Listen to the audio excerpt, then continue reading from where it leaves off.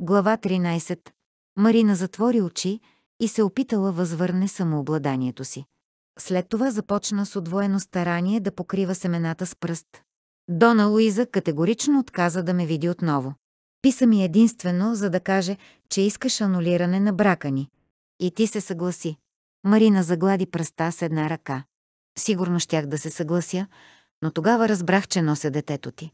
Семейството ти не можеше да отрече, че се оженихме, затова представиха нещата така, че ти и без това ще ме изоставиш, когато разбереш, че съм бременна от друг мъж.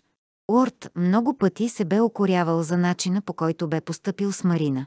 Сега се почувства още по-зле. Изобщо не знаех за Танър. Марина отвори друг пакет със семена. Майка ти ми писа, че ти не си вярвал, че детето е твое. Само преди няколко дни сам каза същото. Но не можеш изведнъж да ми доведеш едно 6 годишно момче, да обявиш, че е мой син и да очакваш от мен да го приема без всякакви възражения. Марина остави пакета на страна и вдигна поглед към Уорд. Но ние бяхме женени. Споделяхме едно и също легло. Но Рамон го бе споделял с теб преди мен. Очите й заблестяха гневно. Прииска му се да си бе отхапал езика. Все още трябваше да си напомня никога повече да не вярва на обвиненията на майка си. За мен това дойде като истински шок, особено след онова, в което бях подведен да повярвам, призна той. Някои от гневните искри огаснаха, но огънят продължи да тлее в погледа й. За мен бе не по-малък шок да узная, че през цялото време си живял в Тексас, без дори веднъж да се опиташ да ме намериш и поговориш с мен. Трябва да призная, че изобщо не знаех къде си. Предполагам, че и двамата трябва да признаем колко неща не сме знаели и за колко неща сме били подведени. Марина отново се върна към заниманието си. Търпението на Лорд обаче се бе изчерпало. Той я хвана за раменете, изправи я на крака и взе пакета семена от ръцете й. Изпитваше непреодолимо желание да я разтърси хубаво и да изтрие тази маска на сдържаност, която си бе наложила. Не можем ли да започнем от начало? Може би това ще успее да разклати железния и самоконтрол. Не успя. Погледът й не загуби нищо от твърдостта си. За нас не може да има ново начало, Уорд. Всичко, което някога бе имало между нас, умря в онзи ден. Не те моля да се опиташ отново да ме обичаш. Знам, че това е невъзможно. Наистина ли бе така? Сега, след като пластовете на гнева и недоверието бяха отстранени, наистина ли чувствата му се бяха променили толкова много? Никога не бе успял да я забрави, дори и когато мислеше, че я мрази най-много. Сега образът й изобщо не напускаше мислите му. Искаше да намери начин да й се извини за това, което си бе помислил, за това, което й бе сторил. Не можеше да промени миналото, но беше необходимо да знае, че тя му прощава. Ако ние с теб имаме син, Уорд млъкна и веднага се поправи. Сега, след като имаме син, тя се изтръгна от хватката му и изтръска от полата си полепналата пръст. Взе чантата от земята и сложи вътре неизползваните семена. Това е факт, каза тя накрая, като насочи към него цялото си внимание. Дай ми развод и този въпрос никога повече няма да те измъчва. Уорд не виждаше никаква промяна в отношението й. Марина не искаше да има нищо общо с него. До тях достигна тропотът на няколко чифта детски крачета. Уорд се обърна. Насам с всички сили се носеха Пит, Уил и Дрю. Ще пускат част от едногодишните телета на свобода и ще ги закарат до хълмовете. Извика Танър, като спря пред майка си, останал без дъх. Мога ли да отида с тях? Марина се обърна към Уорд, в погледа й се четеше неизречен въпрос. Ние не просто пускаме животните на свобода, а ги отвеждаме в онази част на ранчото, където има най-много място за тях. Опасно ли е? попита Марина. Не, отвърна Уил. Никак даже. Ако ги оставим, животните сами ще тръгнат. Да, но няма да отидат там, където ние искаме, обясни Дрю. Затова трябва да ги отведем. Кой ще дойде с вас? Никой, отвърна Дрю. Не се нуждаем от никого, за да свършим тази работа. Може би, но не мога да пусна Танър с толкова много животни, без да има някой, който да го наглежда. Аз мога да го наглеждам, заяви Уил, като свираме не точно като Джейк. Уорд не можа да се сдържи и се усмихна. Аз пък ще наглеждам и двамата, добави Дрю, а на лицето й едновременно си изписаха нетърпеливо очакване и отекчение. За мен няма защо да се грижиш, каза Пит. Да си ме чул да ти предлагам, сряза го Дрю. Имах предвид някой възрастен, заяви Марина. Не се нуждаем от никого. Възпротиви се Дрю. Още повече, че Джейк и Уорд ще имат достатъчно работа с останалите животни, които чакат да бъдат дъмгосани. Марина се обърна към Уорд. Ето ти една възможност. Ако си искрен в това, което казаш, ще отидеш с тях. Уорд отвори уста да й каже, че не може да изостави дъмгосването, но след това се отказа. Ще поговоря с Джейк, отвърна той. Когато Танър започна да подскача възбудено, добави. Джейк може да реши да изчакаме, докато приключим с останалата работа. Хайде, Уорд, поговори с него сега. Дрю увисна на ръката му и започна да го тегли. Момчетата последваха примера й. Не сме приключили разговора си. Извика той към Марина. Напротив, приключихме. Това теле е мое. Извика Уил, като в същото време се впусна след едно животно, което се отдели от другите, като се опитваше да се върне в стадото, което бяха оставили. Но това ти е второто животно, оплака се Пит. А ти самият върна две преди това, обади се Дрю. Така стана, защото ти не беше тук. Няма никакво значение, отвърна момичето. А аз още не съм имал възможност да върна животно в стадото, каза Танър. Твоят ред е след мен, заяви Дрю. Орд се чудеше как може да е толкова често в компанията на Уил, Пит и Дрю и да не осъзнае каква врява вдигат. Точно в този момент от стадото се отдели второ животно и Дрю изхвърча като стрела след него. Тя не се държи като момиче, нали? Попита Танър, като се приближи до Уорд. Понякога, отвърна той. Освен това направо побеснява, ако и кажеш, че е момиче. Дрю върна добичето в стадото много по-бързо от Пити Уил. Наистина е бърза, отбеляза Танър. Само кажи, че е по-бърза от мен и ще ти фрасна един. Закани се Пит. Знаеш какво казва Изабел за побоите между вас, нали? Обърна се към него Лорд. Ще й кажа, че Танър е паднал. Аз пък ще й кажа, че не е. Възпротиви се Уил. За какво спорите вие двамата? Попита Дрю, като се приближи. Лицето й грееше от радост. Те нямат нужда от определена причина, каза Лорд. Само това, че са заедно, е достатъчно. Пит и Уил избързаха малко напред, да се отдалечат от Дрю. Следващото животно е мое. Извика след тях Танър. Момчетата кимнаха в знак на съгласие, като че ли Танър никога нямаше да получи своя шанс да подгони някое животно. В продължение на една миля телетата вървяха кротко напред, без да се опитват да се отделят.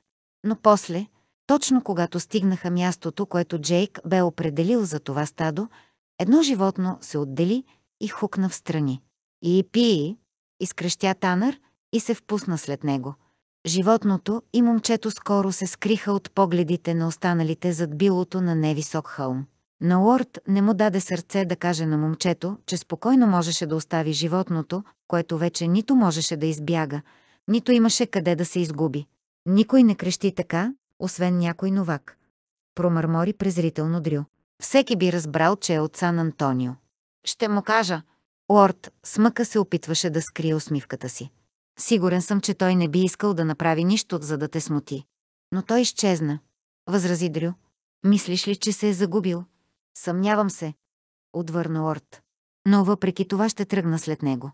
Със силен вик Дрю разпръсна животните във всички посоки. Ще дойда с теб. Уил и Пит също изкрещяха няколко пъти, след което се присъединиха и те. Групата тръгна по неясните следи по сухата земя, които отвеждаха към коритото на пресъхнал поток. Децата пришпориха конете, изпреварвайки Уорд, и скоро се изгубиха от погледа. Но той продължаваше да чува радостните им викове, докато заобикаляха хълмовете и навлизаха в малките каньони. Сега, когато имаха истински дом и сигурност за бъдещето, бяха готови да се радват на живота. След като заобиколи един стръмен хълм, Уорд попадна на старото корито на поток, който водеше до долината, намираща се отпред. Уорд видя Пит, Уил и Дрю, които пришпориха конете си в галоп. Малко по-далеч забеляза Танър, който приближаваше до някакъв фургон, очевидно бе забравил за избягалото теле. Уорд така и не разбра защо изведнъж бе обхванат от неясна тревога. Може би това се дължеше на неподвижността на мулетата, впрегнати във фургона. а може би се дължеше на факта, че няма никаква причина един фургон да е спрян на такова място. Уорд веднага заби шпори в корема на коня. Извика с всички сили на децата пред него да спрат, но виковете му бяха заглушени от чаткането на копитата. Уорд извади револвера си и стреля във въздуха. Трите деца на Джейк забавиха ход и спряха. Но не и Танър. Уорд стреля отново. Този път Танър се обърна. Уорд размаха ръка, като викаше Танър да се върне обратно. Надяваше се момчето да го разбере. Ако не го направеше, можеше да умре. Какво има? попита Дрю, като се приближи до Уорд. Джейк казва, че никога не трябва да даваме изстрел, освен ако случаят не е спешен, извика Пит. Такъв е, отвърна Уорд, след което отново пришпори коня си. Танър отново се придвижваше напред. След като измина едно късо разстояние, той слезе от коня и се насочи към фургона. Танър, не! изкрещя Уорд, но момчето продължи да върви напред. Накрая го достигна и понечи да се качи. Точно в този момент Уорд пристигна. Бързо скочи от коня, сграбчи Танър и го отмести настрани. Накрая и двамата се озоваха на земята. Не чули какво казах. Точно се готвех да видя какво не е наред. Отвърна момчето. Той изглеждаше изненадано и малко оплашено. Чух да плаче бебе. Какво се е случило? Попита Дрю. Мисля, че хората във фургона са болни, предупреди Уорд. Всъщност, мисля, че всички са мъртви, освен бебето. Децата неволно се отдръпнаха назад. Но каква е причината? Осведоми се Дрю. Все още не знам. Ти няма ли да се разболееш? Винаги има такава опасност, отвърна Уорд. Но за децата е по-лошо. Като внимаваше да не докосва нищо, Уорд хвърли поглед във фургона. Жената бе мъртва. Това се виждаше от пръв поглед. До жената лежаха две деца — момче и момиче. Децата бяха на около 3 и 5 години и двете бяха мъртви. От съпруга нямаше и следа. Но жената едва ли бе дошла тук сама. Уорд отстъпи назад, отдалечавайки се от фургона. Мъжът не е тук. Разпръснете се и го потърсете. Вероятно се е отправил обратно към града. Когато го намерите, върнете се и ми кажете. Не се приближавайте до него. От какво са умрели? Попита Дрю. Холера. Трябва да погребем тези хора и да изгорим всичко във фургона. Ами бебето, обади се Танър. И него ли ще изгорим? Другите деца се закискаха. Не, но то също е болно. Мисля, че нещастното малко същество няма да живее дълго. Сега тръгвайте всички. Уорд разбра, че на плещите му се стоварва огромна тежест. Беше същото като във войната. Нуждата от помощ бе толкова голяма, а той не можеше да направи нищо. Но дори и да можеше, за това семейство бе прекалено късно. Дори му мина мисълта, че е по-добре бебето да умре, преди да се върнат децата. Ако не станеше така, трябваше да направи всичко възможно, за да го спаси. Това не само щеше да застраши неговия собствен живот, но и живота на всички онези, които бяха около него. В това число и Танър. Не се наложи Уорд да чака дълго за връщането на децата. Мъртъв е, съобщи Уил. Заведете ме при него. Уорд веднага се метна на коня си. Очевидно е искал да отиде в Сайпрес Бенд. Каза Пит, когато наближиха мястото, където бе паднал и умрял мъжът. Не е успял да измине и половин миля. Изглежда ужасно, промълви Танър. Това бе самата истина. Смъртта на този човек е била много мъчителна. Всички вие веднага се връщате в ранчото, нареди Лорд. Кажете на Джейк какво сме открили. Кажете му да донесе лопати и газ, за да запалим фургона. Дрю веднага препусна обратно. Аз искам да остана с теб, каза Уил. Тук няма какво да се прави. Обзалагам се, че ще успееш да стигнеш Дрил, преди да сте пристигнали в ранчото. Сам знаеш, че тя се мисли за по-добър ездач от теб. Мога да я настигна. Отвърна Пит, обърна се и препусна след Дрил. Уил го последва. Ти имаш най-бързия кон. Обърна се Орд към Танър. Трябва да изпревариш всичките, или те никога няма да спрат да го натякват. Танър се поколеба само за миг, но след това пришпори коня след другите, на карта бе заложена честа му на ездач. Уорд яхна своя кон и се отправи обратно към фургона. Трябваше да види какво може да направи за бебето. Не смяташе, че грижите му щяха да помогнат, но трябваше да опита. Марина настоя да тръгне с Джейк и Бък. Изабел също настояваше да тръгне, което не би направила, ако Дрю не бе споменала за бебето. Орд бе казал, че то скоро ще умре. Но тя не можеше да стои настрани, ако съществуваше дори най-малкият шанс детето да оживее. Марина бе доволна, че Джейк бе наредил на децата да останат вкъщи. Съмняваше се, че те наистина си даваха сметка колко ужасна и опасна бе тази болест. Забеляза фургона в момента, когато заобиколиха стръмния хълм, но Уорд не се виждаше никъде. Джейк надникна във вътрешността на фургона. Ще ги погребем всичките в един гроб. Можеш да започнеш да копаеш. Обърна се той към Бък. Аз ще разпрегна молетата. Къде е Уорд? Попита момчето. Къде е бебето? Попита Марина. Може би е с бащата. Отвърна Джейк. Но когато стигнаха мястото, където бе умрял бащата, видяха, че Уорд не бе там. Трябва да отведа молетата до реката, за да се напият с вода, каза Джейк. След това ще потърсим Уорд. Но не стана нужда да го търсят. Намериха го при реката. Бе свалил дрехите на бебето, което се оказа момиче и го къпеше. Използваше манерката си, за да налива вода в гърлото на детето.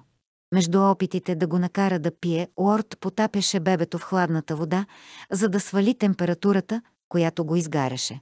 Бебето все още е живо, каза той, като вдигна поглед. Марина в миг потъна в очите му. Това бе съвсем различен човек от този, с когото бе спорила само преди час. Всички следи от гняв бяха изчезнали от лицето му. На негово място тя видя уязвимост и безпомощност. Този факт я накара да онемее от изумление. Уорд бе огромен и силен мъж, който бе навлязал изведнъж в живота й и я бе спасил от един брак по сметка. След като я напусна, за нея се превърна в жестокия и безсърдечен негодник, който бе изоставил жена си на произвола на съдбата. Никога не бе разбрал колко бе наранена, никога не бе вярвала, че той може да страда като нея. Сега знаеше, че може и че бе страдал много. Постепенно горчивината и гневът ти се стопиха.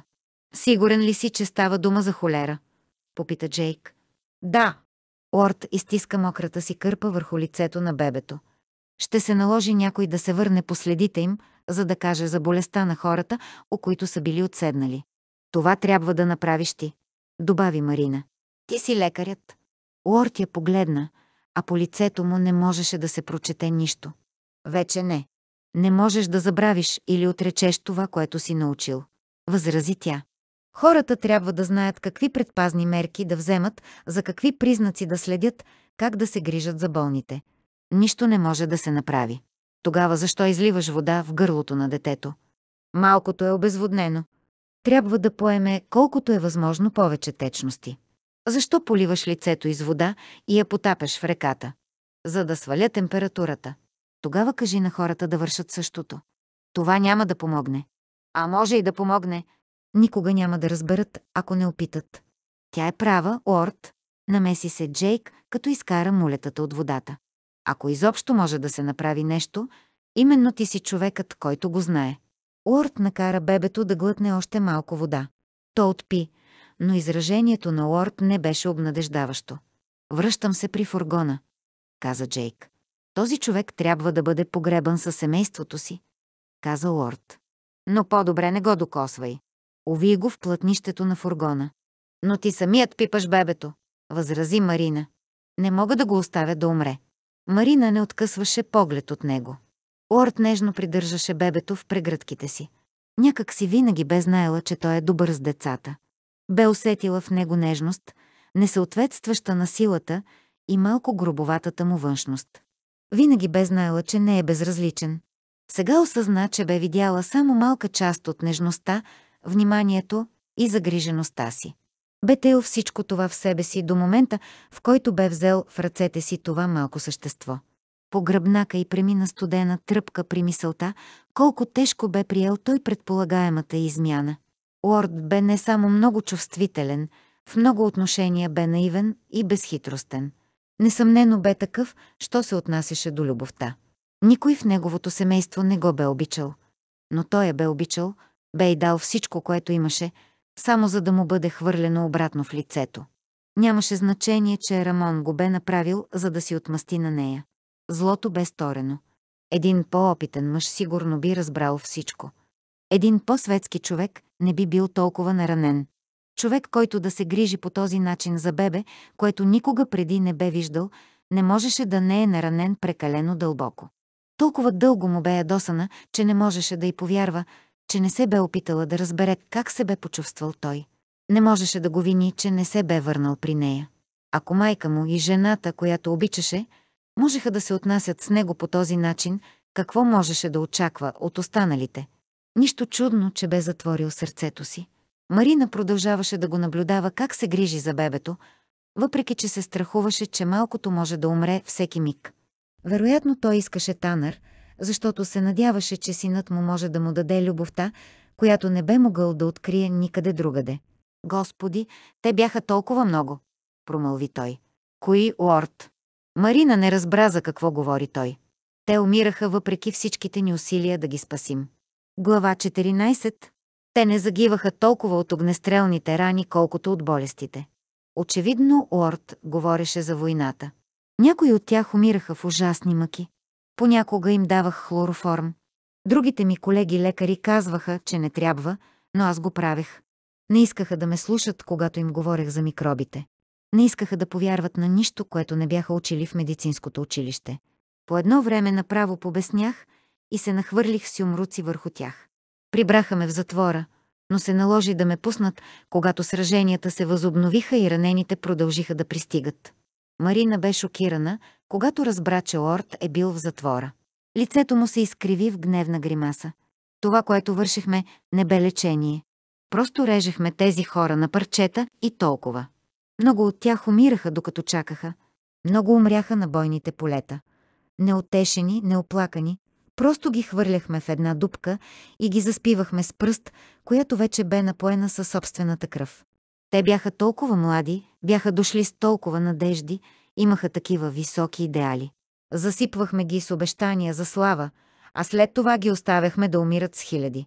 Бащата на Марина считаше войните с Мексико за големи победи.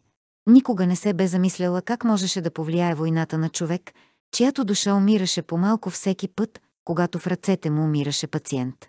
Казах, че съм лекар, но се оказах лъжец. Всички бяхме такива. Не можахме да направим за онези момчета нищо от това, което очакваха семействата им, каквото самите те заслужаваха. Не е било по силите ти да спасиш всички, каза Марина. Направил си това, което си могъл. Никой не би могъл да очаква повече. Не си виждала очите на момчетата, които разбираха, че повече нищо не мога да направя за тях. Ти не си получавала писма от майките им, които искат да знаят как са умрели синовете им и които се молят да им дам нещо моничко, останало от близките им, което винаги да им напомня за тях.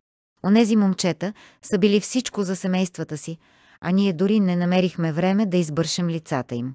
Не можеш да се обвиняваш за неща, които не си могъл да промениш.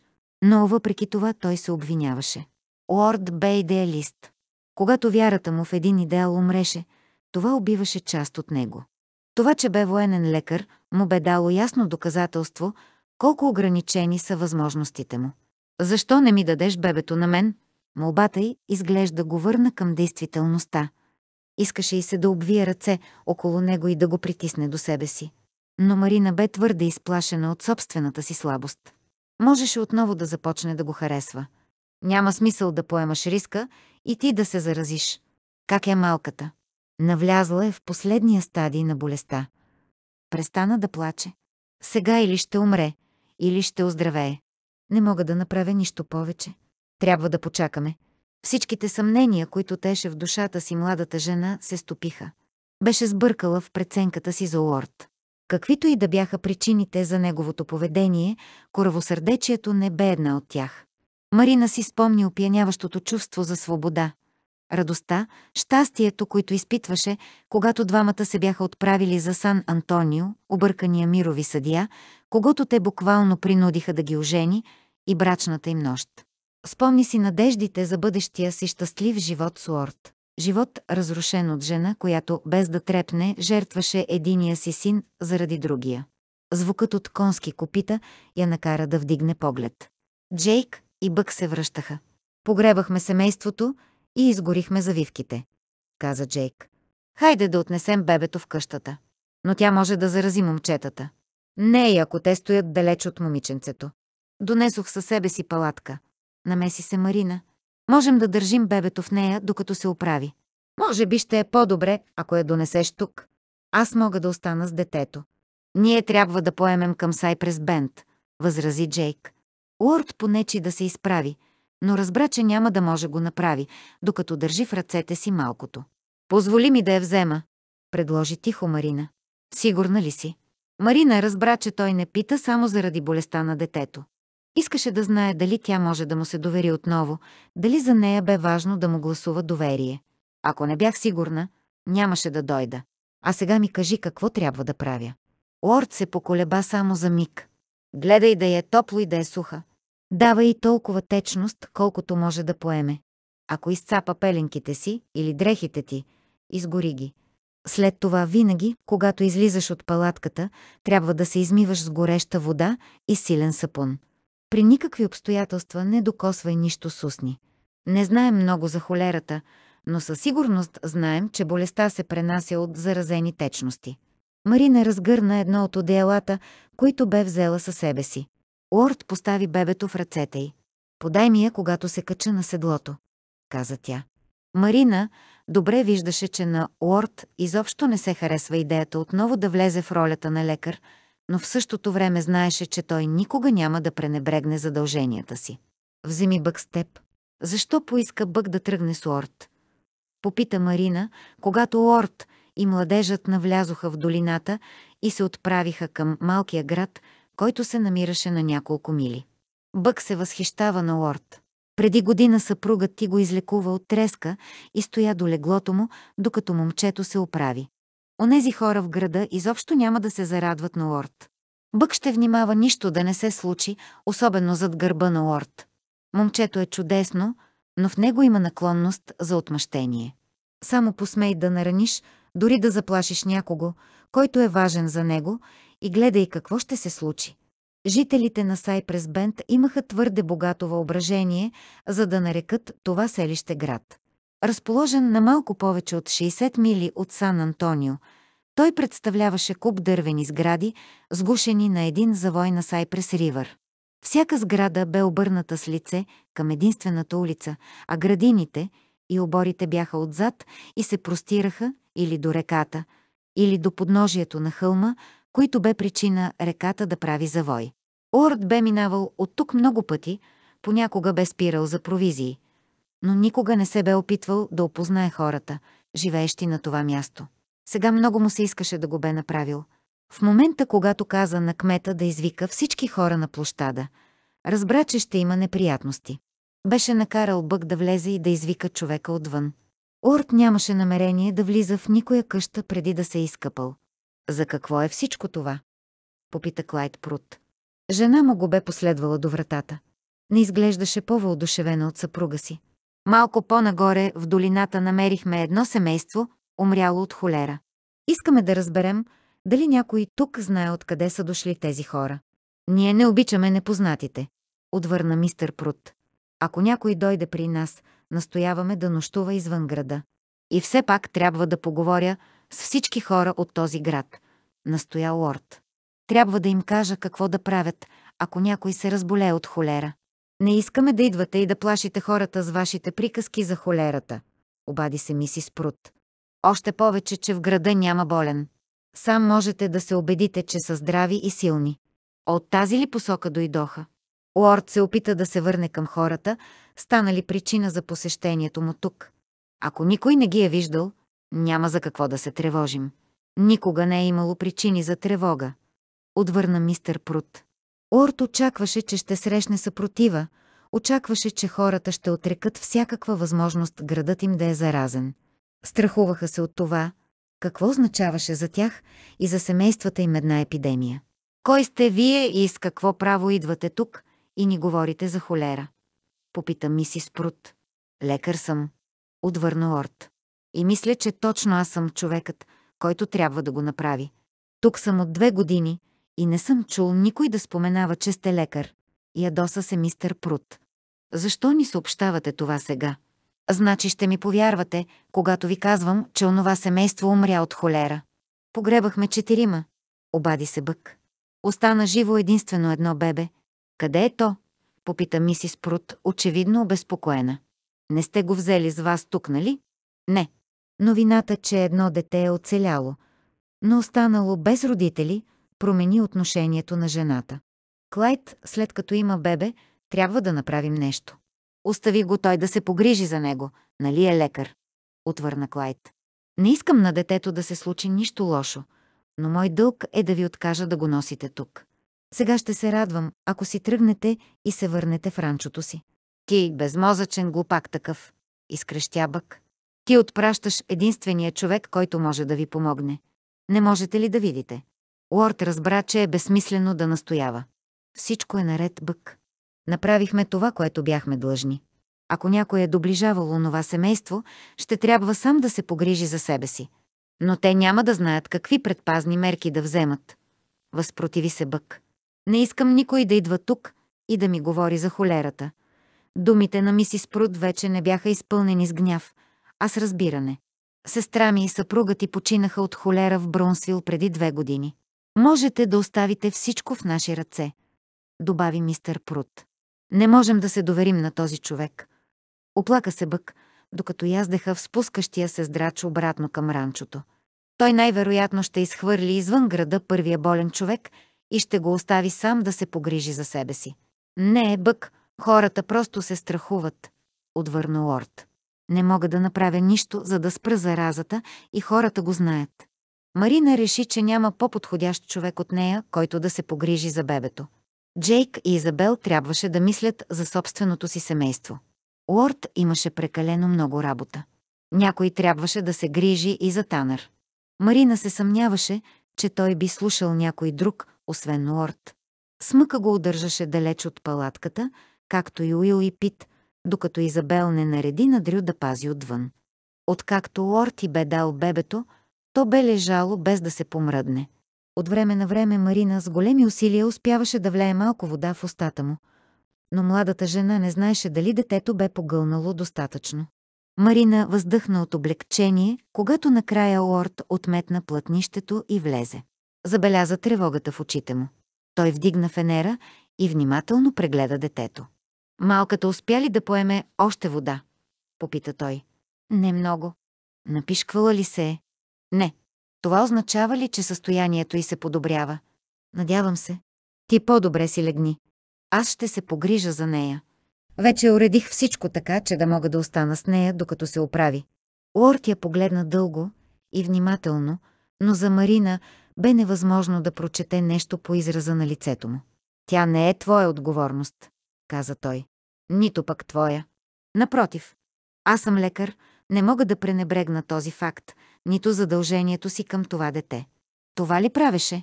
Пренебрегваше факта, че си лекар. Не бе необходимо да питаш. Сама знаеш. Защо?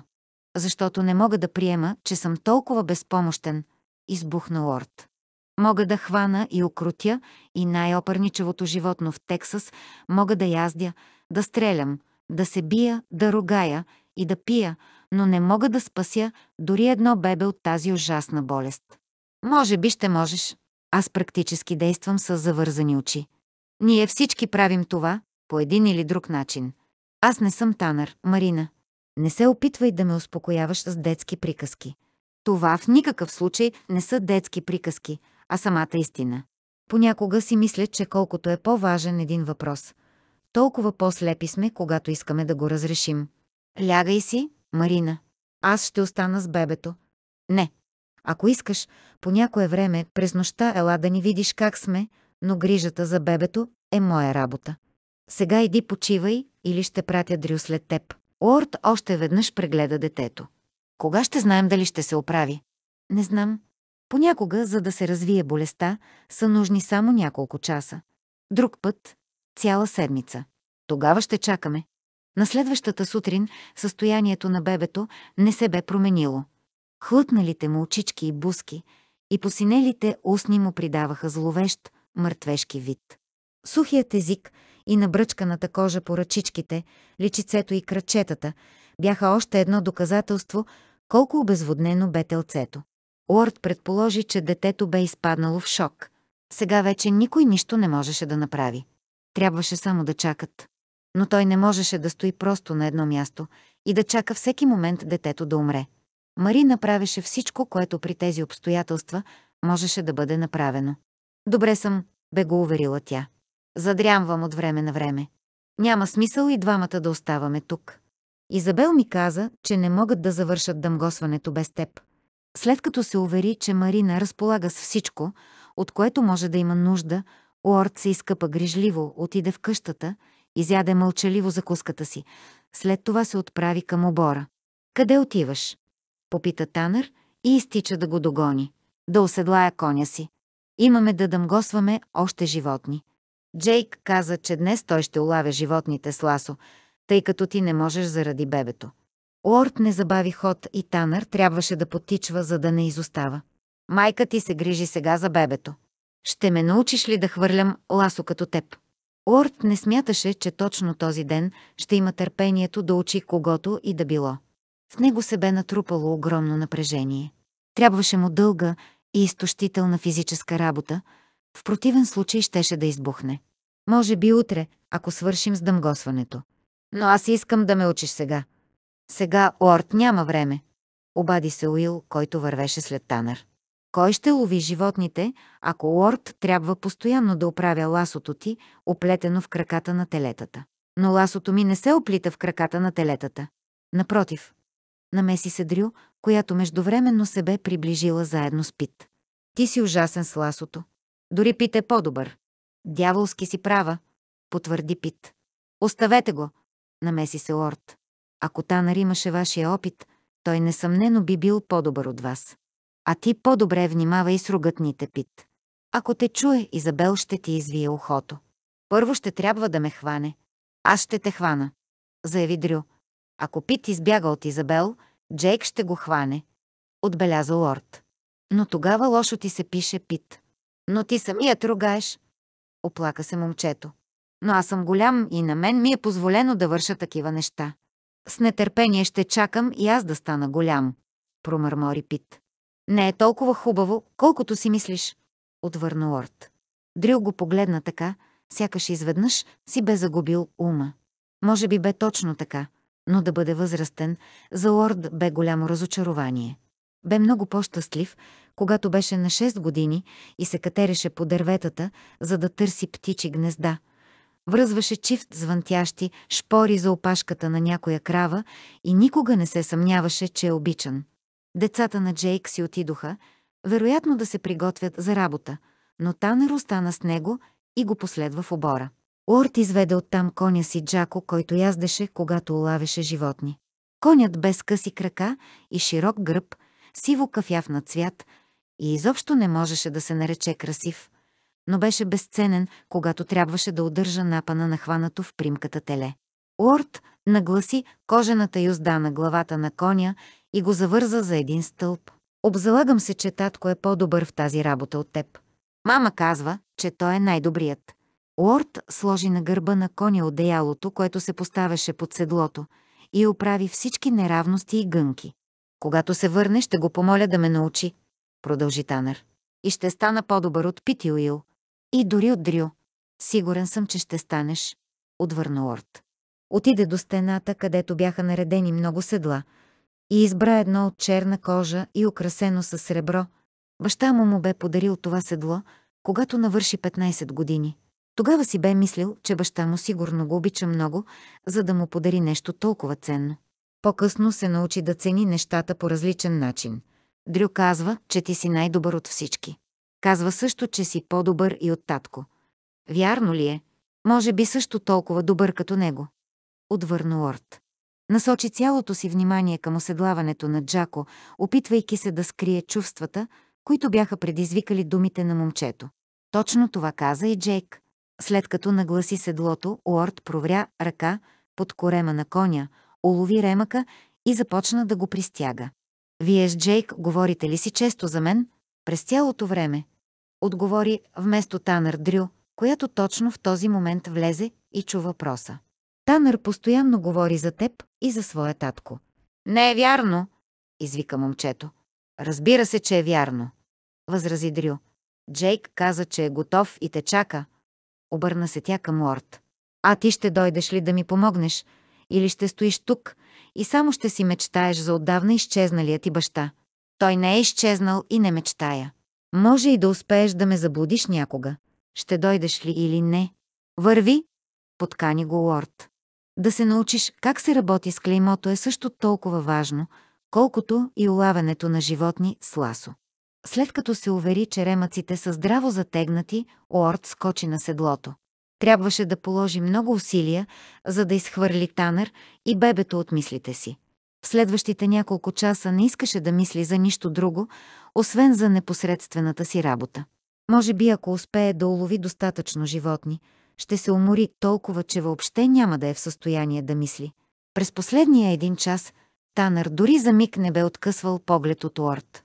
Шумните протести на Дрил, че помага не повече от куцо теле, сляпо и с двете очи. Дори и лекият удар, който тя му нанесе с края на желязото за дъмгосване, не бе в състояние да отклони вниманието му за повече от няколко минути. Джейк бе казал, че Лорд се нахвърля върху работата си с бясна енергия. Танър не знаеше нищо за това. Но знаеше, че Лорд улавяше животните толкова бързо, че държеше в постоянна заетост двете групи момчета, които извършваха дъмгосването. Танър не го бе видял до сега да пропусне нито един път. Бе наблюдавал много пъти хората на бът.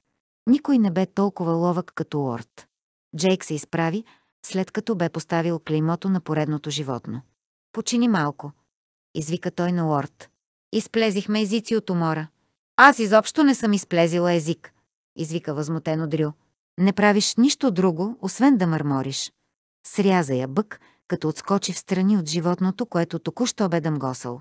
Аз също, добави Уил, но никой не му обърна внимание. Танър проследи с поглед Уорд, който отведе коня си до един дъб. Когато достигна сянката, накара животното да спре и скочи от седлото. Никога не съм виждал някой да улавя животните толкова бързо. Няма и да видиш, отвърна Джейк. Уорд е най-добрият тук, но си мисля, че тази сутрин надмина себе си. Той хвърля ласото под животното и го затяга около задните му крака. Възкликна удивен Танър. Как го прави? Ще трябва да питаш него. Аз не мога да го правя. Призна Джейк. Обзалагам се, че е добър колкото и татко. На Танър не му харесваше, когато трябваше да направи такова признание, но щом като се отнасяше до Уорд, не му бе неприятно. Уорд е добър във всичко, с което се захване, продължи Джейк. Понякога си мисля, че е прекалено добър. Как е възможно да бъдеш прекалено добър? Попита Танър. Възможно е, но това ти докарва неприятности с хората около теб, обясни Джейк. Освен това те прави нещастен. Танър бе твърде малък, за да разбере какво иска да му каже Джейк. За него това, да бъдеш най-добър във всичко, бе повече от чудесно. Но момчето не искаше да си признае, че не разбира, затова само кимна в знак на съгласие. Харесваш ли Уорд? Попита го Джейк. Да. Джейк се усмихна. Добре. Промълви тихо той. Много добре. Танър не знаеше защо се усмихва Джейк, но това го караше да се чувства неудобно. Все пак усещаше, че става нещо, което не разбира. Щеше да попита майка си. Тя трябва да знае. Трябваше също да я попита защо не харесва Лорд. Танър го харесваше. Дори много. Глава 15. Орд остави бебето да мърда свободно в ръцете му. Телцето не беше студено, кръчетата и ръчичките не бяха вдървени. Въпреки това, не можеше да се позволи да се отпусне. Бе виждал да умират прекалено много хора, точно когато си бе мислил, че са на път да се оправят. Франчото бе тихо. Миналата нощ бяха приключили с дъмгосването. Уорд бе настоял Марина да се изкъпе грижливо преди да си легне. Тя беше на крака от два дни. Уорд седеше на предната веранда. Сведе поглед към бебето, което бе заспало кротко в ръцете му. Малкото бе много красиво. Сега разбираше защо Марина толкова се бе привързала към невръстното момиченце. Уорд се питаше какъв ли е бил Танър на тази възраст.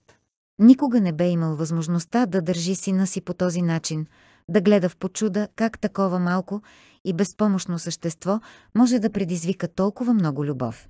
Можеше само да предполага какво неистово желание би изпитал да го защитава, колко щеше да се притеснява при всяка кашлица или при всяка температура. Никога нямаше да има възможност да прекарва часове изучавайки сина си по този начин. Никога нямаше да има възможност да го наблюдава как расте, да следи промените в него, да се гордее с първите му стъпки, с първата изречена дума. Най-важното от всичко, никога нямаше да изпита неописуемото щастие, детето му да вдигне поглед към него и да му се усмихне в отговор на това, че го е познало и че му има пълно доверие. Неговото малко момченце никога нямаше да вдигне ръчички към него, за да бъде гушнато, никога нямаше да го нарече татко или да се притисне към него, за да бъде утешено.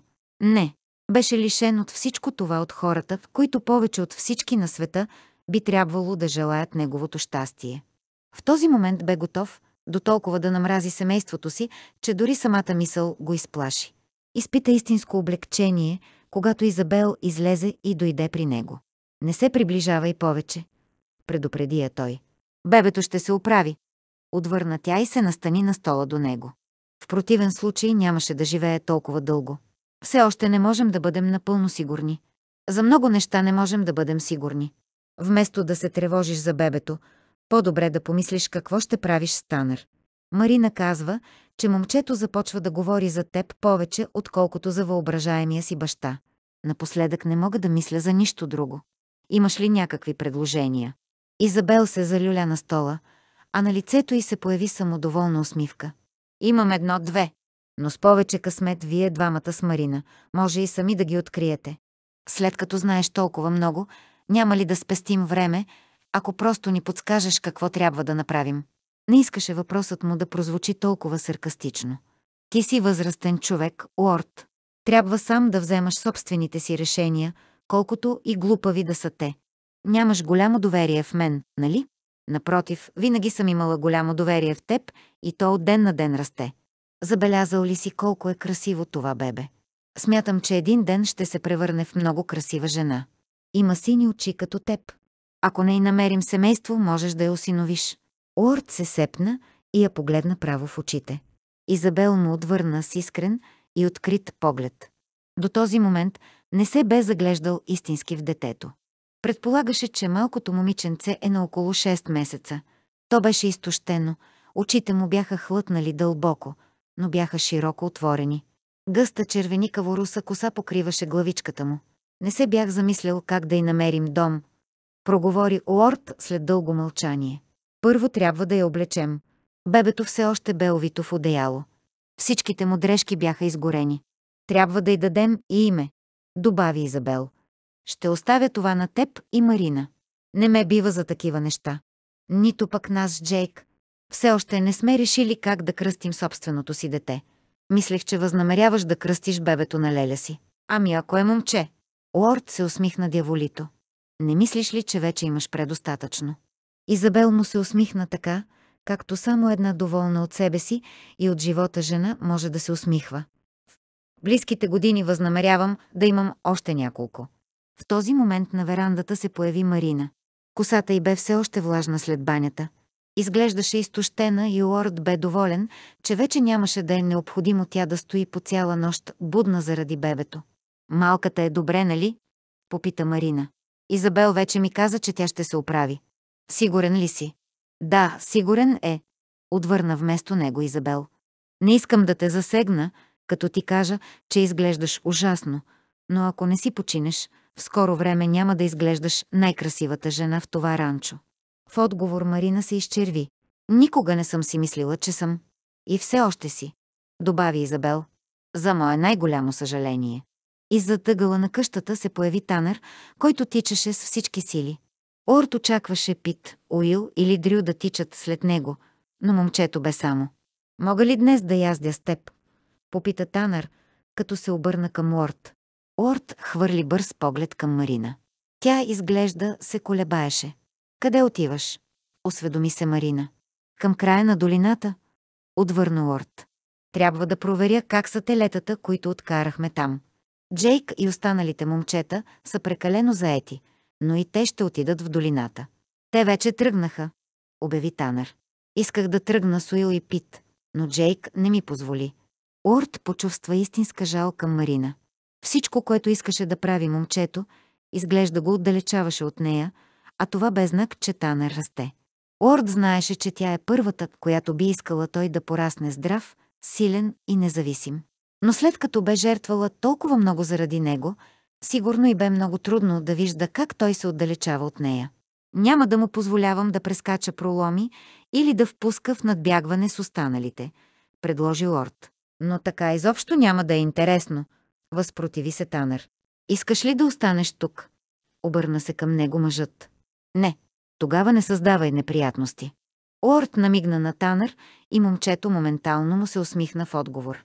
Хайде, мамо, няма да създавам неприятности. Само ще яздя, обещавам. Добре? Съгласи се неохотно Марина. Но ако трябва да се преследва някое животно, остави Лорд да го направи. Той познава тези хълмове. А ти не. Ето, подай ми бебето, каза Изабел и протегна ръце към Лорд. Лорд се изправи, подаде и внимателно бебето и се обърна към Марина. Марина, престани да се тревожиш толкова за Танър. Можеш, например, да помислиш какво име да дадем на това бебе. А сега, ако не искаме Дрю да се върне и да започне да ни се подиграва, ние с Танър по-добре да изчезваме. Марина му отвърна с уморена усмивка. Кога започнахте да бягате от малки момиченца? Откакто намерих Дрю. Само постой с нея толкова, колкото аз и ще видиш. Всички я обичат, поясни Изабел, но тя не винаги се държи мило с тях. Към мен се отнася най-зле от всички, каза Танър. Но в гласа на момчето се долавяше искрената му симпатия. Тя одобрява само Джейк, защото той е нейн баща, и Орт, защото той я е спасил от индианците, заяви Изабел. Към останалата част от мъжкия пол се отнася с презрение. Хайде, Танър, подкани го Орт. Те, разбира се, имат числено превъзходство. Да изчезваме. Танър се усмихна гордо и се отправи към конюшнята, като правеше всичко възможно да имитира походката и стойката на Уорд. Самият Уорд бе правил остроумни забележки относно това, как Уил имитира Джейк. Сега трябваше да признае, че поведението на момчето го кара да се чувства чудесно. Струваше му се, че е станал някак си по-силен и по-значим. Това бе един от най-хубавите мигове в живота му, почти като през онзи ден, когато най-сетне бе повярвал, че Марина го обича. Уорд не мислеше, че нещо би могло наистина да се сравни с онзи момент. Беше се почувствал съвсем различен човек, освободен от ограниченията, против които се бе борил толкова дълго. Не можеше да се удържи да не хвърли поглед назад към верандата и да не се запита дали бе възможно да се почувства отново по този начин. Ако беше така, Марина бе единствената жена, която можеше да го направи щастлив. Бе имал много жени, но никой не успя да докосне онази част от него, която Марина бе завладяла толкова лесно. Уорд постави ръка на рамото на Танър. Каза си, че не би трябвало да го прави, но не можа да се сдържи. Освен в деня, когато се ожени за Марина, никога не се бе чувствал толкова близо до друго човешко същество. Танър вдигна поглед към него и му се усмихна така, че разтопи сърцето му. Това не бе поглед към почти непознат човек. С такъв поглед едно момче можеше да погледне баща си. Уорд усети в момчето любов, която то не се страхуваше да дари. Това бе любов, която той бе копнял през целия си живот да получи от семейството си, бе се борил, бе се надявал. А сега я намери в това момче и само трябваше да протегне ръка. Но нямаше право. Марина ги наблюдаваше, докато двамата заедно се отдалечаваха. Овладя странно чувство. Ето, там вървяха те, двамата мъже в живота й, баща и син. И така трябваше да бъде. Нещо в нея се разтопи и я трогна до сълзи, когато видя как Танър се опитва да имитира походката на баща си и как покровителствено и с много обич Уорд сложи ръка на рамото на момчето и го привлече към себе си. Сълзи замъглиха погледа й и започнаха свободно да се стичат по страните й. Дори не се опита да ги скрие. Двамата са хубава двойка, нали? Обади се тихо Изабел. Да, отвърна Марина с задавен глас. Така е. Изведнъж я завладя чувство на загуба. През всичките тези години тя бе мислила единствено за гнева и болката си. Едва в този момент осъзна, че истинското им нещастие Суорт се състоеше не в това, което си бяха причинили един на друг, а в това, което бяха пропуснали. Тя бе пропуснала безкрайната любов, която бе очевидно, че препълваше сърцето му и той отчаяно искаше да я подари на някого. Бе пропуснала щастието да живее със съзнанието, че е обичана заради самата себе си, а не заради положението на семейството й, радостта да го посреща всеки ден вкъщи, да вижда как лицето му светва от радост. Беше пропуснала толкова дни, които можеха да прекарат заедно, и толкова изпълнени с страст и любов нощи. Бе пропуснала неописуемата радост съпругът и да поеме в ръцете си сина, който тя му бе родила. Припомни си подигравките, прикритите нападки, шушуканията. Сега за нея те не означаваха нищо, не и когато виждаше Танър да припка около Уорд като кученце. Детето й бе лишено от много повече неща от нея. За Танър това бе още по-важно, защото момчето все още не можеше да разбере и по тази причина не бе в състояние по никакъв начин да се защити. Всичко това бе много повече, отколкото Марина можеше да понесе. От гърлото й се изтръгна с подавено ридание. Какво има? попита разтревожена Изабел. Нищо. Едва успя да промълви Марина. Глупаво е. След миг ще ми мине. Всичко е наред. Но не беше. Чувстваше се сломена и измъчена. Не можа да се сдържи и зарида. Обърна се и хукна обратно към къщата и към самотата на стаята си. Не можем ли да стигнем там? Попита Танър, като посочи една едва забележима пътека, която се извиваше зигзагообразно по тесния каньон и стигаше до малко сечище на едната страна на възвишението.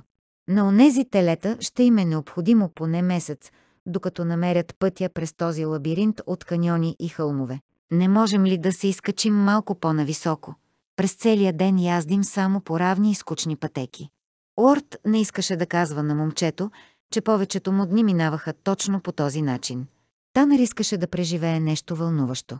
За него ездата представляваше път през дълга поредица от хълмове, каньони и потоци, а за разнообразие от време на време се появяваше някоя сърна.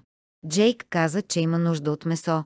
Продължи момчето. Ти обеща да застреляш сърна. Нощния ястреб ще го направи. Джейк каза, че след като сме толкова много хора, Изабел ще се нуждае поне от две. Може би Джейк сам ще застреля някоя. Не можеш да ги оставиш само те да ловуват, а ние да не правим нищо. Възпротиви се Танър. Обещах на майка ти, че няма да те оставя да се забъркваш в неприятности. И как ще се забъркам в неприятности, ако застреляш сърна? Танър се бе държал добре през целия ден. Можеха да поемат по една тясна пътека, която минаваше през отвесното и високо било на хълма, и насочвайки се обратно към ранчото, да прекусят няколко каньона. Там бе най-подходящото място да се търси дивеч. Изкачването беше дълго и трудно, но си заслужаваше.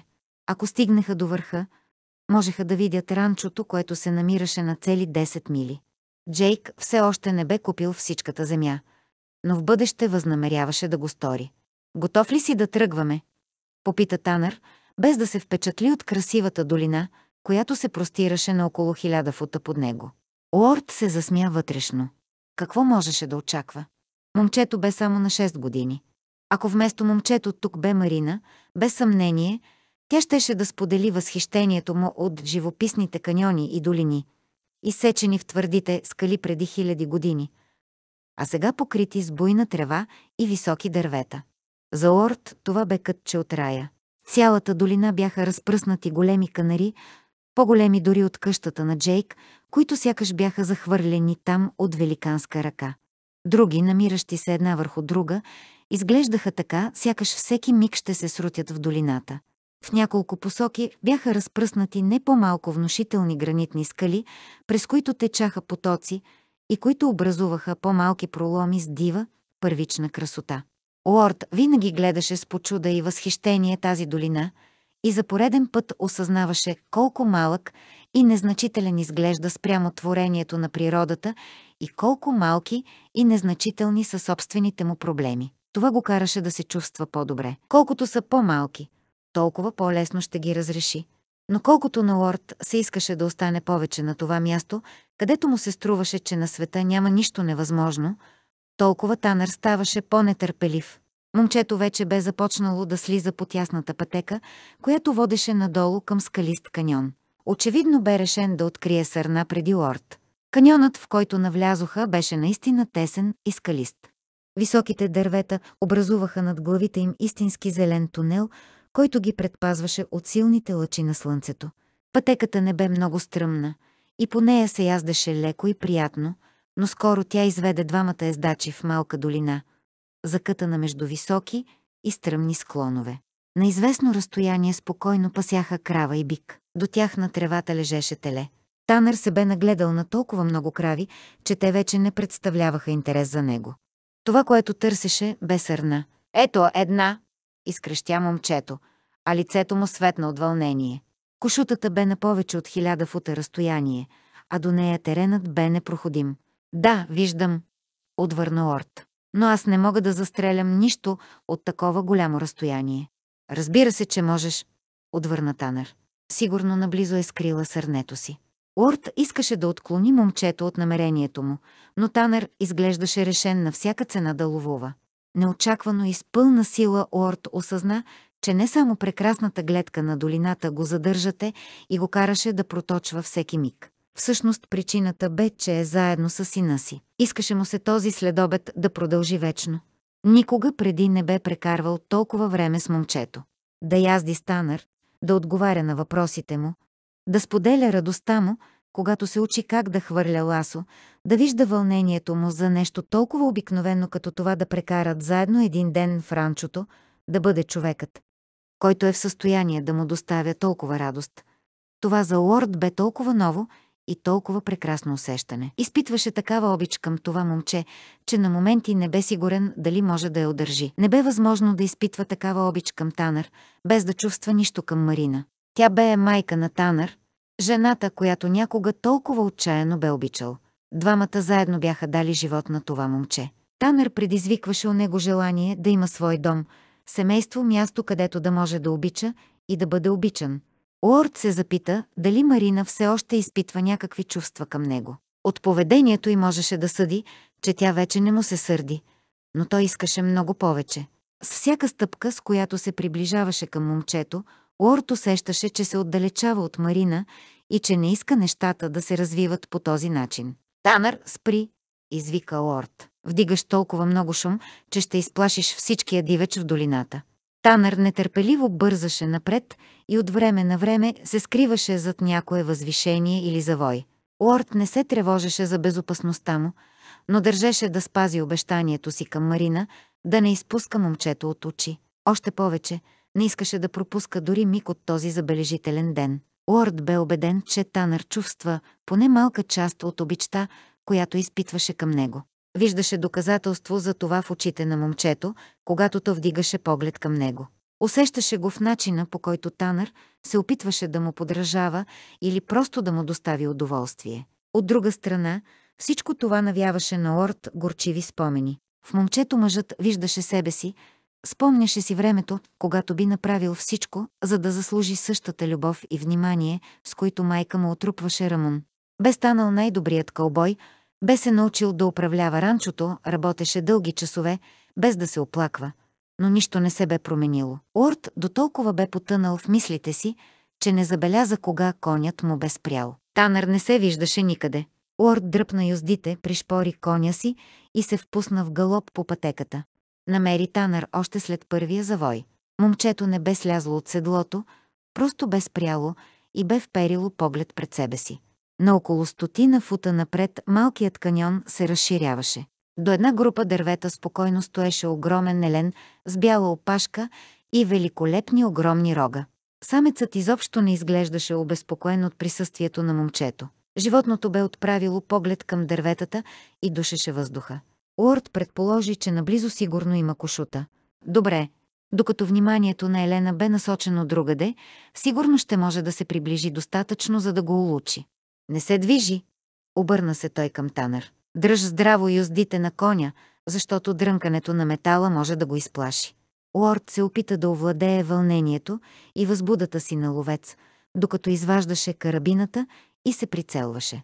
Въпреки, че ловуваха само за да си набавят храна, момчетата се съревноваваха кой ще донесе най-голямото животно.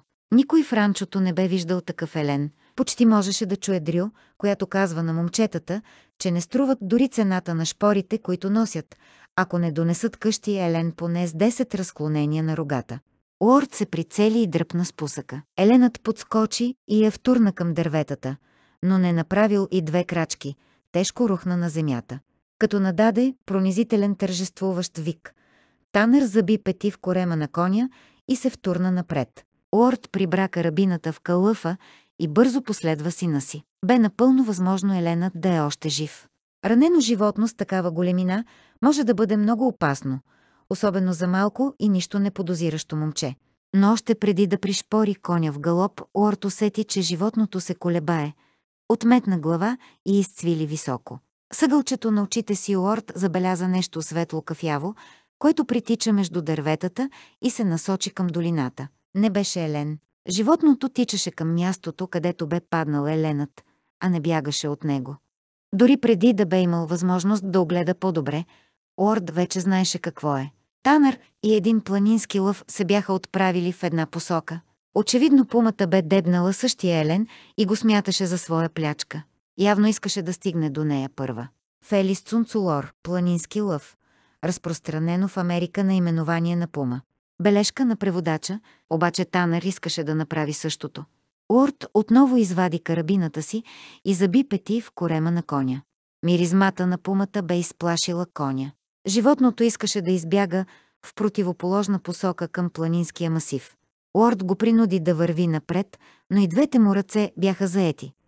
В едната държеше карабината, а с другата задържаше коня да не избяга, което означаваше, че не може да стреля. Ако скоро не прогонеше пумата, Танър щеше да се окаже между огромната котка и мъртвия елен.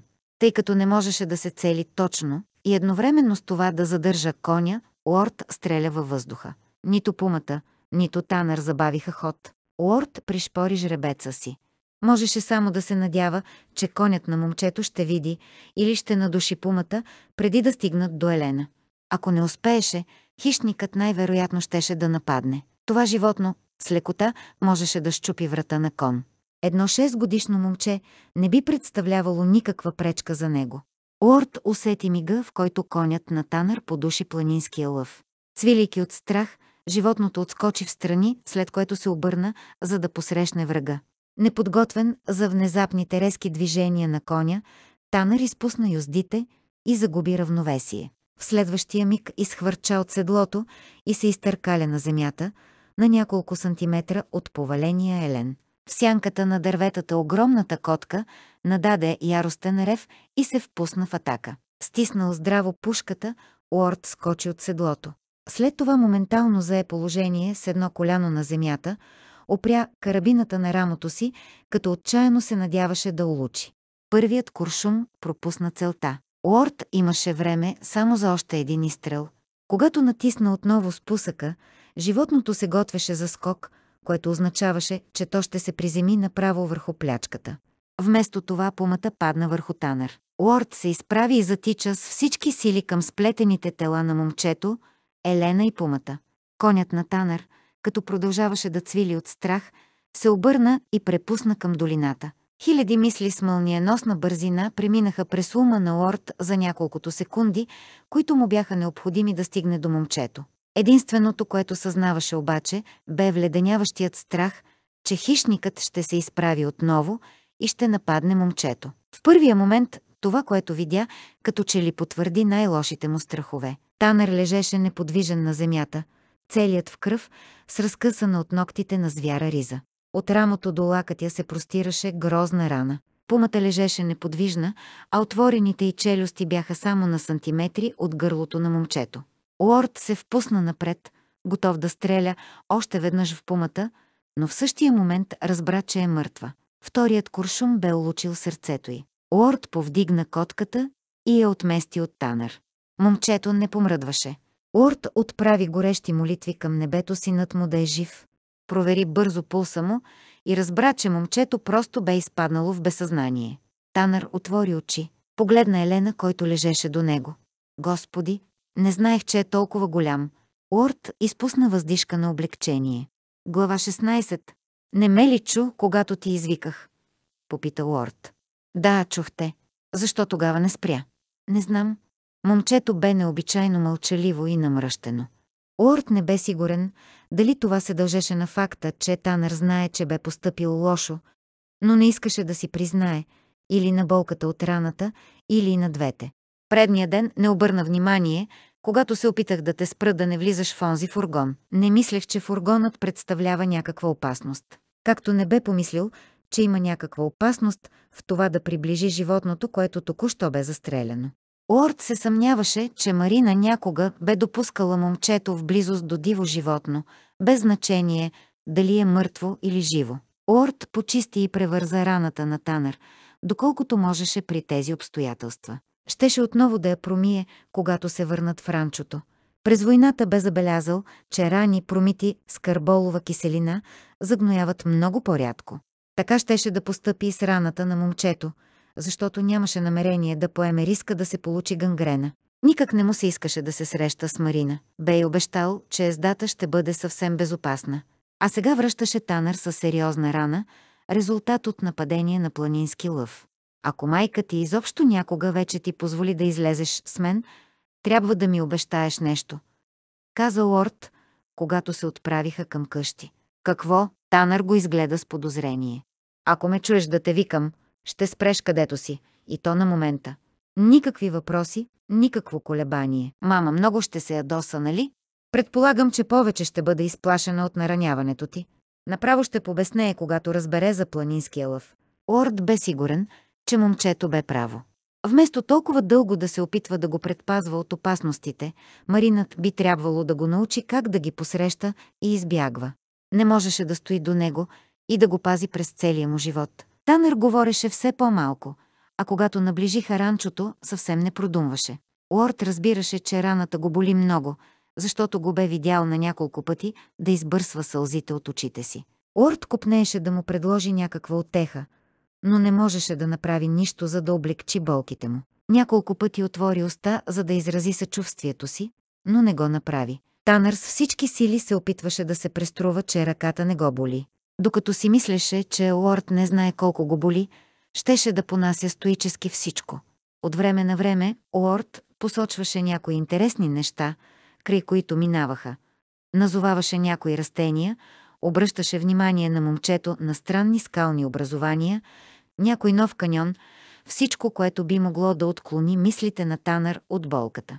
Въпреки усилията си обаче, момчето почувства как очите му се пълнят със сълзи. На около една миля от ранчото Лорд забеляза трима ездачи, които идваха към тях. «Поправи ме, ако греша», каза той. Това са тримата палавници, които идват да видят какво сме уловили. Танър веднага вдигна глава. Мислиш ли, че са убили някоя сърна? Може би, но се обзалагам, че не са убили Елен като нашия. Тях някога нападал ли ги е лъв? Веднъж Уил бе ритнат от една крава. Между другото, той никога не прави това, което му казваш, но нищо толкова опасно като нападението на хищника не му се е случвало. Развеселен, Уорд наблюдаваше момчето, което се изпъчи гордо при мисълта, че само то е било нападнато от планински лъв. Дори не можеше да се надява, че Марина ще погледне на случката в такава светлина. Очакваше, че тя ще бъде готова да го убие с голи ръце. Боже! извика Дрю, изоставяйки самодоволния си маниер на поведение, когато видя Елена, завързан за седлото на Танър. Къде го намерихте? Аз го намерих, обади се Танър. Уил и Пит, които следваха Дрю, бяха прекалено развълнувани, за да кажат каквото и да било. Почакайте само ястреба да види това. Каза накрая Пит, а очите му блестяха от вълнение. Той донесе Елен с девет разклонения на рогата и мисли, че е направил нещо изключително.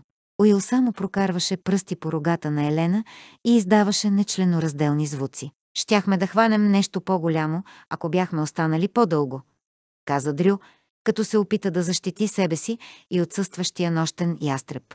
Но той търсеше планински лъв. Намерихме останки от убито животно. Ние открихме лъва, добави Танър. Уорд го уби. Те всички се втренчиха в Уорд, с широко отворени от изумление очи, като в миг забравиха за Елена. Къде? попита Пит. Колко беше голям? Поиска да знае Уил. Не ти вярвам, добави спокойно Дрю. Видяхме го в един от онези многобройни каньони в началото на долината, обясни Орд. Беше огромен, каза Танър, като в миг забрави за намерението си да бъде хладнокръвен и спокоен. Зъбите му бяха толкова големи. Танър преувеличи само с два инча. Хайде де, подметна Дрю. Изобщо не си се приближил толкова до него, за да видиш и зъбите му.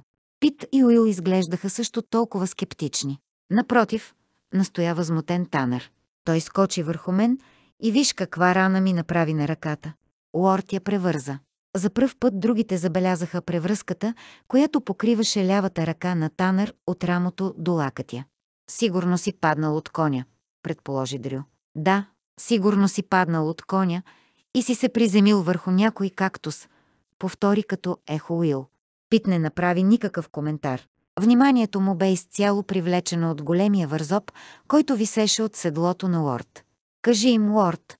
Обърна се умолително към него Танър. Кажи им, че онзи лъв скочи върху мен и ти губи.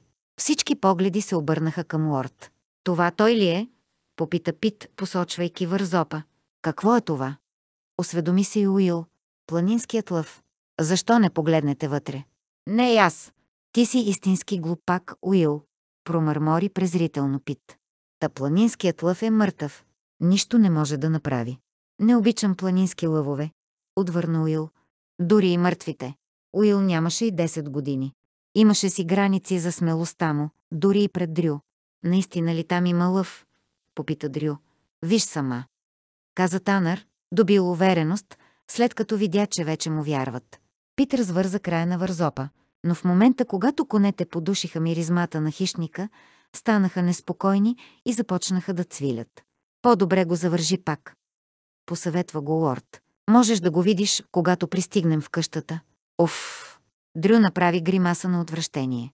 Защо си запазил кожата? Не можех да оставя такава красива кожа да бъде разкъсана на парчета от хищниците, отвърна лорд. Изабел би могла да я използва. Изабел никога няма да сложи в къщата си кожа от планински лъв. Увери го Дрю. Защо не? Осведоми се Пит. Просто няма да го направи. Отвърна Дрю, сигурна в интуицията си какво би приела една жена. Наистина ли пумата скочи върху Танър? Попита Уил, като се обърна към Лорд. Да, отвърна той. Захапа ли го? Не, но успя да направи дълбока дръскотина на ръката му. Боли ли? Дрю се обърна към Танър и го измери с преценяващ поглед. Боли и дори много. Отвърна вместо него Лорд. Но Танър е достатъчно смел, за да не го признае. Момчето заслужаваше някаква награда за това, че преглъщаше толкова дълго сълзите си. Пумата се криеше сред дърветата. Изрева страшно и се нахвърли върху мен. Лорд я застреля, докато още беше във въздуха.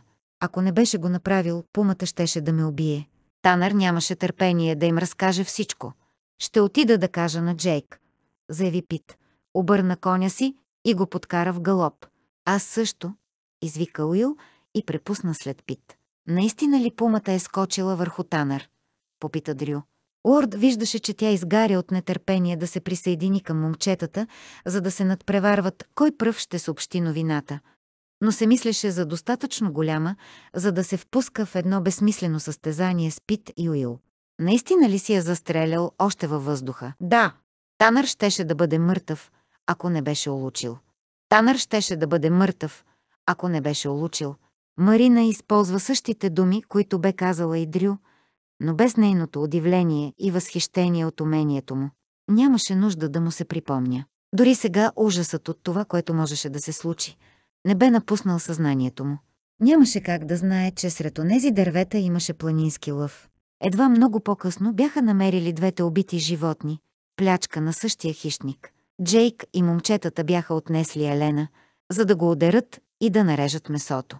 След като Изабел категорично бе заявила, че няма никакво намерение да украсява къщата си с части от убити животни, Уорд мислеше, че момчетата щяха да вземат рогата и да ги окачат в бараката, където спяха. Нощният ястреб бе предложил да изчисти и обработи кожата на пумата. Уорд изпита истинско облегчение, че не се налага да върши тази неприятна работа. Да се опита да обясни всичко на Марина бе повече, отколкото можеше да стори в момента. Щеше да бъде много благодарен, ако тя го бе оставила да почисти раната на Танър сам. Нараняването наистина бе сериозно и това подклаждаше още повече гнева й. Господи! възкликна тя. Но какво си си мислил? Да позволиш да се приближи до планински лъв. Не съм го оставил да се приближи до планински лъв. Отвърна Орд, като полагаше неимоверни усилия да остане спокоен. За нещастие, уби Хелен, който пумата е преследвала. Танър не можеше да го види, защото хищникът се криеше сред дърветата. Уорд осъзна прекалено късно, че не трябва да казва това. Искаш да кажеш, че този планински лъв можеше да убие Танър, преди да разбереш къде се намира. Винаги съм на штрек, когато се намирам далеч от ранчото, отговори Уорд, без да отделя поглед от раната, която почистваше. Защо конят на Танър не е избягал, когато е подушил хищника? Така и направи. За нещастие, преди това хвърли Танър от седлото. Още една грешка. Уорд не можеше едновременно да се грижи за ръката на момчето и да мисли за всяка дума, която казва. Точно сега бе много по-важно да почисти добре раната на Танър, отколкото да успокоява гнева на Марина. Изпитваше гордост заради момчето. Неговият син. Танър бе събрал целия си кораж, за да не заплаче. Ако Марина бе изразила загриженост и съчувствие, а не гняв, момчето сигурно щеше да се предаде и да заплаче, дори и в присъствието на Дрю. Не боли много, мамо, каза то. Уорд каза, че ще направи стегната превръзка и раната ще мине бързо, ако преди това не се инфектира. Няма, заяви Уорд. Много пъти не бе успявал да предотврати инфекция, но тук ставаше дума за собствения му син и трябваше да успее. Не можеш да знаеш това. Аз съм лекар. Според Изабел, си изоставил професията си още преди години. Но не съм забравил това, което съм учил. Още повече, не можеш да очакваш, че ще пренебрегна собст. Още малко и щеше да каже собствения си син, отговорностите си. Танър е моя отговорност, а не твоя. Свърши ли? Попита Дрю. Изабел каза, че трябва да го заведа при нея, веднага след като свършиш. Не може да изостави приготвянето на обяда, но иска Танър да й разкаже какво се е случило с всички подробности. Бред каза, че не го интересува, но по вида му личи, че лъже. Днес е негов ред да помага в кухнята, затова се сърди, че е пропуснал всичко. Танър бе нетърпелив да хукне към къщата. Дръж ръката си неподвижна, нареди лорд. Искам след това да отидеш веднага да си легнеш, добави Марина. Може да получиш треска. Нищо няма да му стане, ако постои малко по-дълго, каза лорд. Изабел ще се погрижи той да не се вълнува прекалено много. Сега вие двамата тръгвайте и не преувеличавайте прекалено много. Обърна се той към Танър и Дрю. Танър погледна Лорд, усмихна му се и се отдалечи. Как смееш да отменяш нарежданията ми? Извика Марина, побесняла от гняв. Това не е съвсем точно. Не съм ги отменил. Отвърна Лорд. Като лекар мога да кажа, че няма да му навреди и да не си легне веднага. Не мисли, че можеш да се измъкнеш по този начин. Извика гневно тя. По-късно ще си поговорим и за това. Но точно сега бих искала да знам кога реши, че имаш право да ми казваш, кое е най-доброто за Танер. Когато ми каза, че той е мой син, ти заяви, че не ми вярваш. Промених мнението си. Защо? Нямах възможност да ти представя никакво доказателство. Както не можах да те накарам да ми повярваш и първия ден, когато... Няма нужда да се връщаш към това. Прекъсна е лорд. Промених мнението си за много неща. Едно от тях е, че приех, че аз съм бащата на Танър. Трябваше да го направиш още докато бях бременна. Казах ти, че никога не съм знаел за съществуването на момчето. Марина отмести поглед, гневът ти малко се бе оталожил. Забравих. Разбираше я. Години наред бе мислила обратното. Той имаше същия проблем. Отклонихме се от въпроса. Продължи тя. Ти ми обеща, че ще внимаваш да не му се случи нищо. Но винаги съществува възможност да се случи нещо непредвидено. Радвам се, че ме предупреди. От сега нататък няма да пускам Танър извън къщата. Не можеш да направиш това. Все едно да го заключиш в стаята му. Искам да го върна в Сан Антонио здрав и читав. Думите й го накараха да изпадне в истинска паника. Още не бе свикнал с факта, че има син, освен това до този момент не бе осъзнал колко важен бе станал за него Танър, а сега Марина заплашваше, че ще го отведе в Сан Антонио. Не можеш да го държиш настрани от всички през целия му живот. Най-добрият начин да го защитиш е да го научиш за какво да внимава и как да се справи с проблема, когато попадне в опасност. Предполагам, че днес направи точно това. В известен смисъл. Предпочитам начина, по който постъпва Бът. Но не бъде негов баща, а аз. Ти си съвсем нов в тази роля. Можеш да уредиш нещата много лесно. Остави Танър тук, а ти се върни в Сан Антонио и се омъжи за твоя ранчеро. Думите излязоха от устата му, преди да бе осъзнал какво казва, но това бе самата истина. Уорд не искаше никога повече да бъде разделен от сина си. Тогава, щом като Танър има баща, няма смисъл да се омъжвам за бът. Огорчението, изписано по лицето й, подсказа на Уорд, че думите й се изплъзнаха, защото бе твърде разстроена. Заля го неочаквана вълна на облегчение. Ако оставиш Танър при мен, няма да има нужда да се омъжваш за никого. Орт не можеше да каже дали тя бе повече смутена или ядосана. Няма да оставя Танър при теб. Не мога да повярвам, че искаш от мен такова нещо. Той е мой син и аз искам да бъда заедно с него. Готов ли си да му обясниш, защо има баща, когато никога не е виждал? Все още не. И никога няма да стане, ако зависи от мен. Танър ще бъде много по-добре, ако живее с Бът. Но мен харесва повече. Танър не бе казал точно това, но Уорд бе сигурен, че е истина. Той те познава от по-малко от седмица, отвърна Марина. А Бът е познавал през целия си живот. Това няма значение, настоя той. Значи искаш да продължиш да се преструваш, че си просто приятел? Звучеше доста глупаво, но Уорд не го чувстваше по този начин. Танър има нужда да бъде в компанията и на други момчета. Тук е идеалното място за него. Идеалното място за него е да бъде с мен и със съпруг, когато ти не обичаш. При тези думи Марина се изчерви. Това не е твоя работа. Моя е, щом засяга сина ми. Извинявай, ако не проявявам нужното съчувствие. Сряза го тя. Но не мога да свикна с това да говориш за него като за твой син. В продължение на години Танър имаше само мен. Но аз го искам и ще направя всичко, което ми е по силите, за да го задържа при себе си. Отвърна твърдо Лорд. Няма да има нужда от това. Танър се нуждае от майка и баща, а не от родители, разделени на 75 мили разстояние. Но той вече си има майка и баща, отбеляза Лорд, които трябва да са женени, възпротиви се тя. Но ние сме женени. Марина присви очи подозрително. Искаш да кажеш, че отново ще заживееш с мен, само да има Танър баща? Да, предполагам, че да. И не те притеснява това, че аз не те обичам, нито пък мен. Уорд отвори уста да отговори, но не можа да каже нищо. Не, промълви накрая той. Не искаше да каже това. Със сигурност не се чувстваше по този начин. Каза това, което си мислеше, че тя желая да чуе и се надяваше, че е за добро. Но изобщо не се получи така. Марина вдигна ръка и го зашлеви силно. Ти не си мъжът, за когото се омъжих, извика тя. Той имаше идеали и вярваше в тях. Уорд докосна горящата си страна. На онзи мъж всички идеали бяха грубо отнети. Мъжът, в когото преди години се влюбих, щеше да намери начин отново да си ги върне. Не всички мъже могат да го направят сами. Някои от нас имат нужда от малко помощ. Не търси помощ от мен, Уорд. Мисля, че ще е най-добре, ако двамата с Танър си тръгнем още утре. Не можеше да й позволи да отведе Танър. Трябваше да направи нещо. Страхът го накара да каже първото нещо, което му дойде на ума. Ще кажа на Танър, че аз съм баща му. Тогава той няма да поиска да си тръгне. Преди малко Лорд си бе помислил, че Марина е ядосана, но нищо не можеше да се сравни с гнева, в който избухна след неговите думи. За миг си помисли, че тя отново ще го удари. Марина се въздържа. Но яростният огън в очите й му напомняше за разярена лавица.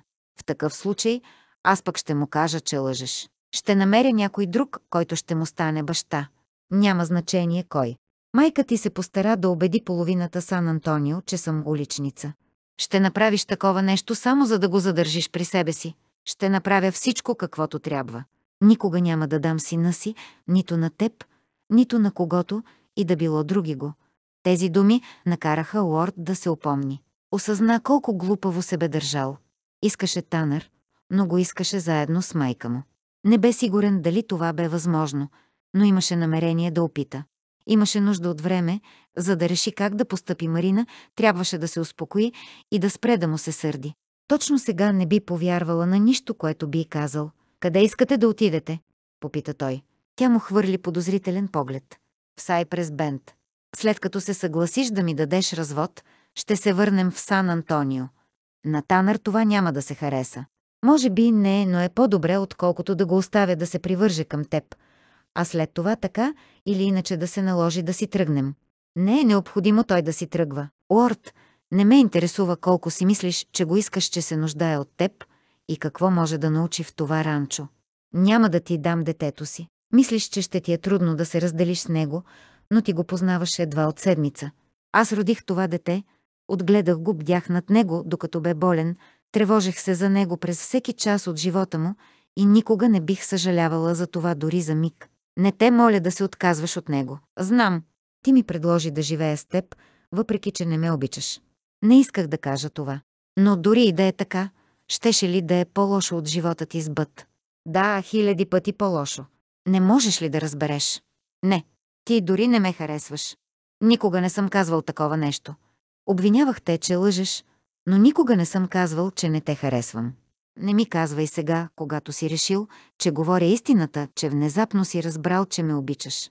Дълго време не бях в състояние да чувствам нищо друго, освен гняв. Сега това е минало, но все още не съм сигурен какво чувствам. Мога да ти обещая, че каквото и да чувстваш, то няма да се превърне в любов. Преди беше така, защо да не може да стане отново? Това бе преди години. Всичко се случи прекалено бързо. Мисля, че чувството, което споделяхме тогава, не бе любов, а просто взаимно привличане. Беше много повече от това, Марина. Уорд предположи, че убедеността, с която изрече тези думи, накара Марина да изостави агресивното си държание. На лицето изписа колебание и несигурност.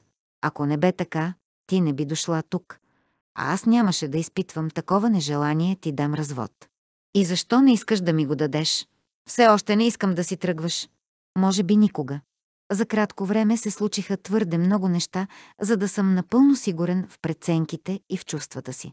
Освен в Танър. Да, освен в Танър. Аз не изпитвам такива колебания, Уорд. Ще поговоря, Джейк. Бих предпочела да тръгна утре рано сутринта. Глава 17. Марина изпита истинско облегчение, когато се отдалечи от Уорд. Гневът ти, че той иска да живее с нея само заради Танър, не бе доказателство срещу заявлението му, че това, което бяха изпитвали един към друг преди години, бе любов. Или намекът, че неговата любов не бе умряла. През всичките тези години бе успокоявала болката си с убеждението, че и двамата бяха сбъркали, че бяха взели физическото привличане за любов. Беше приела по този начин и физическата си реакция спрямо Лорд, но чувствата, които сега я вълнуваха, я оставиха несигурна и разтреперана. Не можеше вече да се убеждава, че той греши. Бе узнал истината само преди няколко дни, бе успял да ориентира през лабиринта от лъжи, да потисне гнева и да разкрие истинските си чувства. Но тя не можеше да реагира така бързо. Беше глупаво нейна страна да смесва физическото привличане с нещо по-дълбоко.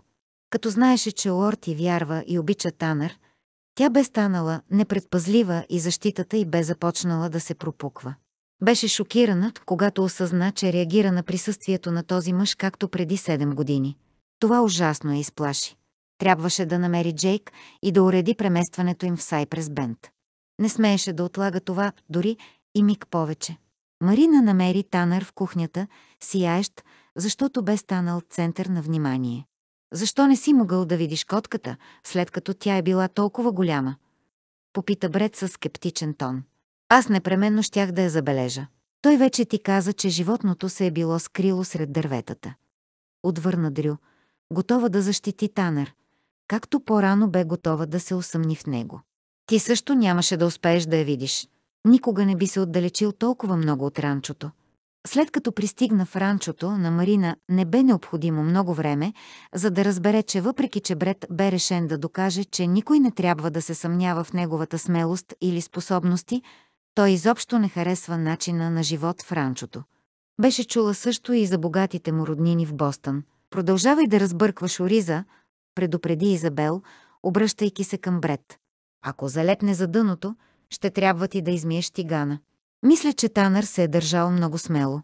Ако върху мен бе скочил планински лъв, сигурно все още щях да продължавам да крещя. Не можах. Паднах на земята и той скочи върху мен. Отвърна Танър по-детски откровено. Уорд помислил, че съм умрял. Когато разбра, че съм жив, заплака. Марина се отпусна тежко на един стол до масата. Уорд бе плакал, защото Танър бе в безопасност. Никога не би си помислила, че Лорд толкова бързо е успял да обикне сина си. Наистина го обичаше. Никога не бе го виждала да плаче. Изпита вина, защото щеше да отведе Танър от тук, но не можеше да постъпи по друг начин. Синът ти бе всичко, което имаше. Уорд ти предлагаше повече. Но ако той искаше да живее с нея само заради Танър, можеше ли да му има доверие, когато й говореше за любов? Трябваше да отиде някъде, където ще може да помисли на спокойствие. Къде е Джейк? Попита тя. Помага на момчетата да нарежат Елена, отвърна Изабел. Аз бих почакала, докато се върне. Продължи, когато тя Марина стана и се отправи към вратата. Гледката не е от най-приятните. Всяка есен ръководя клането на добитъка. Отвърна Марина и излезе. Бе казала истината, но никога не успя да хареса тази работа. Въздъхна облегчено, когато забеляза, че Джейк идва към нея. Срещнаха се под сянката на един от големите дъбове. Синът ти стана нещо като герой сред момчетата, каза Джейк. Иначе никак не е лесно да задържиш дръв в къщата, когато режем някое животно. Марина се усмихна едва забележимо. Танър е много по-щастлив от тази случка, отколкото аз. Говориш също като Изабел. Никога не съм успявала да разбера какво привлича мъжете към опасността. Изабел казва, че това си е чистинат. Когато истински се ядоса, казва, че го правим от глупост. Джейк се ухили. Изабел явно не е от хората, които украсяват истината с хубави фрази. Тя казва също, че няма нужда от такова нещо, тъй като мъжете изпитват затруднения да разберат неща, които са повече от очевидни. Марина знаеше, че Джейк искрено обича жена си и уважава чувствата й. Беше ги виждала заедно прекалено често, за да се съмнява в това. Как можеха толкова много да се обичат и да гледат на нещата от толкова различен ъгъл? Можеше ли и между тях с Уорд да бъде така? Това никак не изглеждаше вероятно, но Джейк и Изабел бяха доказателство за противното. Марина осъзна, че истинската любов означаваше да разбираш, да приемеш другия, да го оставиш да бъде такъв какъвто е. Знаеше, че това бе напълно възможно, след като Джейк бе успял със своята невъзможна сбирщина от момчета. Но не бе дошла тук, за да си задава още въпроси, на които не можеше да отговори. Време е двамата станър да си тръгваме. Вече достатъчно дълго злоупотребяваме с гостоприемството ви. Утре рано сутринта ще тръгнем за Сайпрес Бенд. Усмивката изчезна от лицето на Джейк, очите му загубиха дяволитите си пламъчета. Каза ли вече на Изабел? Не. Исках първо да говоря с теб и за уреждането на самото пътуване. От какво имаш нужда? Само от някой, който да ни придружи. Не й харесваше идеята да язди сама 10 мили сред непознати пусти земи. Не разбираше как Уорд може да харесва всичко това. Говори ли с Уорд? Казах му, че си тръгвам. Помоли ли го той да те придружи? Не, беше очевидно, че Джейк се чувства неудобно. Поставяш ме наистина в ужасно положение. Как така? Ти си жена на Уорд. Танер е негов син. Молиш ме да ти помогна да избягаш от него. Дори и Уорд да не бе мой приятел, не виждам как бих могъл да направя такова нещо. Аз не бягам от никого. Но въпросът се свежда точно до това. Тогава, Станър, ще тръгнем сами. Мислиш ли, че Уорд ще ти позволи? Той е твой съпруг. Честно казано, намирам, че ми е трудно да мисля за Уорд като за мой съпруг. Все пак поговори с Уорд. Ако той не иска да дойде с вас, ще изпратя бък. Бе очаквала да намери Уорд да върши всичко друго, но не и да храни намереното бебе. Беше и трудно да свърже този Уорд, който яростно бе спорил с нея, с мъжа, който си правеше труда да храни бебе, което дори не бе негово. Не можеше да не се запита дали така би постъпвал и Станър, и да се чуди дали и той си бе мислил колко неща бе пропуснал заради това, че не бе познавал сина си. Гневът и към него се възвърна с пълна сила. Той продължаваше да атакува защитата й, да руши стените, които бе издигнала около себе си с тези свои благородни постъпки. Те правеха невъзможно намерението и никога повече да не си позволи да го обича. Марина не можа да измисли по какъв начин да подходи към въпроса, затова премина направо към него. Двамата станър ще тръгнем за Сайпрес Бент утре сутринта. Джейк иска да знае дали ще ни придружиш или би предпочел той да изпрати едно от момчетата да ни показва пътя. Не искаш ли да знаеш дали ще ти дам развод? Въпросът я свари неподготвена. Почти бе забравила за първоначалните си намерения да скъса връзките между тях. Сега, след като Лорд знаеше, че има син, след като бе обикнал Танър. Сега, след като знаеше, че част от чувствата им се бяха съхранили, разводът вече не представляваше ясната, лесна и постоянна раздяла, на каквато се бе надявала. Все още ли би се омъжила за бът, за да стане баща на Танър? Бе очаквала този въпрос. Ако не го направя, ще трябва да напусна ранчото му. Не мога да остана като економка в къщата му, след като съм го отхвърлила. Но аз нямам пари и няма къде да отида. Семейството ми все още отказва да ме вижда. И двете ми сестри се омъжиха добре, особено едната. Ще си помисля по въпроса. Но това не е твоя работа. Ти си моя жена, майка на сина ми. Разбира се, че е. Марина не можеше да мисли за себе си като за жена на лорд. Не се чувстваше омъжена, а само по някакъв начин свързана с него. Но в момента, когато тази мисъл се оформи в ума й, тя осъзна, че не бе истина. Връзката бе там, освен това ставаше все по-здрава. Не знаеше дали тази връзка съществуваше от цели седем години или се бе появила в последните дни. Страхуваше се да разбере. Ти не си отговорен за мен, Уорд. Без значение какво ще решим за Танър, за моето собствено бъдеще ще решавам аз. Очаквах това. Но след като засяга и мен, искам също да имам думата. Марина не можеше да се съгласи, но в момента не се чувстваше готова за още една битка с него. Все още не бе казала за намерението си на Изабел и на Танър. Не очакваше нито един от разговорите да бъде лесен. Защо искаш да си тръгнеш толкова скоро, Марина? Натъжи се Изабел. Тък му взехме да се опознаваме. Изабел учеше на мусената дрю да плете на една кука. Младата жена признаваше, че това не бе умение от първостепенна важност за една съпруга на ранчеро, но няколко покривчици, сложени тук и там, напомняха на мъжете, че вкъщи се изисква друг вид държание, различно от това при окротяване на опърничевите добичета. Но ти без това имаш да се грижиш за толкова хора. Не искам да ти бъдем в тежест. Няма никаква разлика, дали в домакинството ми има още двама души. Не, Дрю, не се прави така. Ще завържеш конеца. Между другото, обърна се Изабел отново към Марина. Не това е причината да не искам да си тръгваш. Знам какво ще кажеш. Мислих за това, все още мисля, но не мога да взема решение тук. В ранчото ми влияят твърде много неща. Дрю измърмори някаква ругатня. Изабел взе плетката от ръцете й, поправи грешката и я връчи отново. Сега разбра ли как го направих? Да, отвърна Дрю. Но не виждам защо трябва да се уча на това точно сега. Когато се здобиеш с твой собствен дом, ще си доволна, че си се научила. Дрю не изглеждаше убедена, но търпеливо се зае да изплете още една фигура. Сигурна ли си, че не бягаш от едно положение, с което не искаш да се изправиш очи в очи? Попита Изабел, като насочи вниманието си отново към Марина. Марина въздъхна тежко. Не знам защо не извикам тук всички и не ви разкажа подробно живота си. Това би спестило много време. Съжалявам, Марина, но аз никога не успявам да гледам единствено моята работа. Човек би си помислил, че сред цялото това голямо семейство би трябвало да съм си взела урок. Всички тук настояват да взема решението, което те искат, но аз не мога да водя определен начин на живот, само за да доставя удоволствие на някого. Сигурно съм изключително нетактична, за да те накарам да си помислиш подобно нещо. Отвърна Изабел. Просто искам да се увериш, че знаеш какво всъщност отхвърляш. Права си.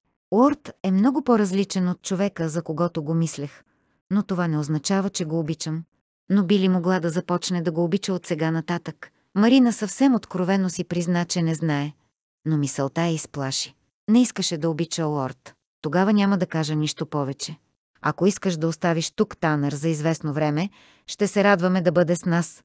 Както би казал Джейк, по-малките момчета много се привързаха към него. Марина се усмихна, а Изабел сърдечно се засмя, поправи още една грешка в ръкоделието на Дрю и отново се обърна към Марина. Какво ще правиш с бебето? Марина бе толкова объркана от чувствата си към Лорд и това, че той иска да задържи Танър при себе си, че напълно бе забравила за бебето. Не знам, мислех си, че искаш да вземеш малката със себе си. Така е, исках. Все още искам. Аз също мога да я задържа. Не, скоро ще имаш свое собствено бебе. По-добре поговори с Лорд. Той също доста се привърза към бебето. Точно от това нямаше нужда. Още едно нещо, за което да спорят с Уорд. Е, ще се опита да измисли нещо. Точно сега трябва да реши какво да прави Станър. Да му каже какво възнамерява да прави, се оказа по-лесно, отколкото си бе мислила. Помогна и много и фактът, че не му бе казала цялата истина. Но аз искам да остана тук. Възпротиви се Танър веднага след като тя повдигна въпроса за тръгването. Тук не е нашия дом, Танър. Не можем да останем повече, отколкото биха го направили Дрю и Уорд, ако бяха дошли в Грейвъл Пит. Бът нямаше да има нищо против. Не в това е въпросът. Ние сме само гости тук. Лицето на Танър придоби същото опорито изражение, което бе видяла преди това на лицето на Лорд. Не искам да се връщам в Грейвъл Пит. Не искам да бъда син на Бът. Искам да остана тук и да се науча да бъда истински кълбой. Дрю казва, че ставам все по-добър.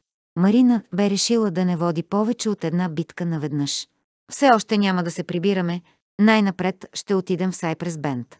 Лорд ще дойде да ни покаже пътя. А ще тръгне ли с нас? Не знам. Мога ли да го попитам? Не тази вечер. Само му казах, че си тръгваме. Може би не е имал време да реши. Имаш ли нещо против, ако взема бебето с нас? Какво бебе? Онова, чието семейство умря от холера. Марина се страхуваше, че Танър ще започне да ревнува. Добре. Уорд каза, че можем да задържим кожата на планинския лъв. Можем ли да я вземем с нас? Марина не искаше тази кожа, нищо, което да й напомня, че Танър бе избягнал на косъм от смъртта. Ще минат седмици, дори месеци, преди и ястреба да свърши с обработката. Надяваше се да е достатъчно дълго, за да може Танър напълно да забрави за това. Няма да забравиш, нали? Няма. Много и се искаше, но се съмняваше, че би могла. Сега е по-добре да си лягаш. Искам да тръгнем рано сутринта. Марина бе доволна, когато видя, че Лорд е повикал Дрю, която се присъедини към тях. Присъствието й помагаше да се разсее част от напрежението. Така двамата нямаха възможност да говорят за нещата, които все още стояха неуредени между тях. Ездата наистина бе много приятна. Въпреки, че бе ясен пролетен ден, поради височината въздухът бе хладен и сух. Небето бе кристално синьо. Над главите им се носеха леки бели облачета. Широката, равна долина бе покрита с гъста трева, която стигаше до коремите на конете и с цветя, много цветя. Пред очите им се простираше истинска цветна дъга. Марина се чувстваше така, като че ли бяха единствените хора в целия свят и тази вълшебна долина бе само тяхна. Танър яздеше най-отпред и броеше сърните, които пасяха спокойно поединично или на малки стада. Дрю, свикнала с тяхното присъствие, се интересуваше повече от състоянието на кравите на Джейк. Трябваше да доведем тук повече телета. Извика тя, като се обърна към Лорд. Тук има предостатъчно трева. Но не можем да ги наблюдаваме и пазим така добре. Не вярвам по тези места да има кръци. Обади се Марина. Кръците са навсякъде, където има добитък. Отвърна Лорд. Джейк все още не е изкупил земите по край потока между къщата и планините. Надява се скоро да успее да купи земята до реката. След като направи това, ще можем свободно да пускаме добитъка в две долини. Тогава земята ще бъде двойно повече от това, което Джейк притежава сега. Защо Джейк иска да купи толкова много? И защо изобщо трябва да я купува? Бът не притежава и половината от земята, която използва. Джейк изгуби първото си ранчо заради фермери, които се настанили на земята, която не била негова. Той просто иска да е сигурен, че това няма да се случи отново. Мисли, че ако купи повече земя, в бъдеще ще има достатъчно за момчетата, ако поискат да си направят свое собствено ранчо. Значи той мисли да осигури всяко едно от момчетата с земя, ако може. Ами собствените му деца. Те всички са негови собствени деца, не по-малко от това, което е на път. Марина се смути. Беше обикнала малкото момиченце, което държеше в ръце, но към него не изпитваше и половината любов, която изпитваше към Танър. Стигнаха до Сайпрес Бенд след изморително, но безпроблемно пътуване. Мисис Спрут изобщо не се зарадва отново да види Уорд, но недоволството изскоро изчезна, когато разбра, че Марина търси да наеме стая. Имам точно каквото ви трябва, каза тя, като придърпа Марина в къщата си, преди младата жена да успее да попита дали в града се предлагат и други стаи. Имате късмет, че стаята е празна. Миналата седмица я бе наел един мъж. Вчера си тръгна. Марина покорно я последва. Всъщност радвам се, че си замина. Мислеше си, че след като е от Сан Антонио, аз през цялото време трябва да огаждам на капризите му. Аз, разбира се, не съм човек, който би обърнал гръб на щедрото заплащане, но не съм и прислужница. Казах му, че ще направя каквото мога, но ако иска личен прислужник, по-добре да си бе намерил предварително. Марина лесно можеше да си представи мисис Прут, която безцеремонно казва и на самия губернатор да си изтрие бутушите преди да влезе в стаята й. Ще задържите ли бебето при вас? Естествено. Марина се запита дали ще бъде изхвърлена от къщата, ако бебето плачеше силно. В такъв случай ще имате нужда от люлка. На таванската стая имам една. Ще накарам съпруга си да я свали. Обаче това ще ви струва допълнително. Разбира се, на Марина би се искало да намери нещо в стаята, което да не хареса. Но всичко бе в идеален ред. Две легла, гардероб, ъгъл за люлката, столове, маса и достатъчно място, за да се движи свободно. Направо се оплаши да попита каква е цената. 50 цента на ден. За храната се плаща отделно. Ще я наема. Колко мислите да останете? Наистина, колко мислеше да остане? И за какво всъщност щеше да остане? Не съм сигурна.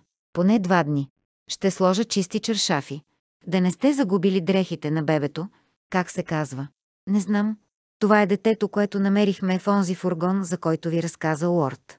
Семейството, което умря от холера. Мисис Прут огледа внимателно бебето. На мен не ми изглежда болно. Тя е съвсем здрава. Но фургонът и всичко в него трябваше да изгорим. Бедното малко същество. Завайка се мисис Прут. Оставете я на мен. В момента, в който жените от града разберат, че тук има дете без майка, ще съберете достатъчно дрехи за три бебета. Тези момчета ваши и на съпруга ви ли са? Изглежда целият свят бе решил да я нарича жена на лорд. Нещата щяха да бъдат много по-лесни, ако и тя чувстваше същото. По-малкото момче наистина е мое.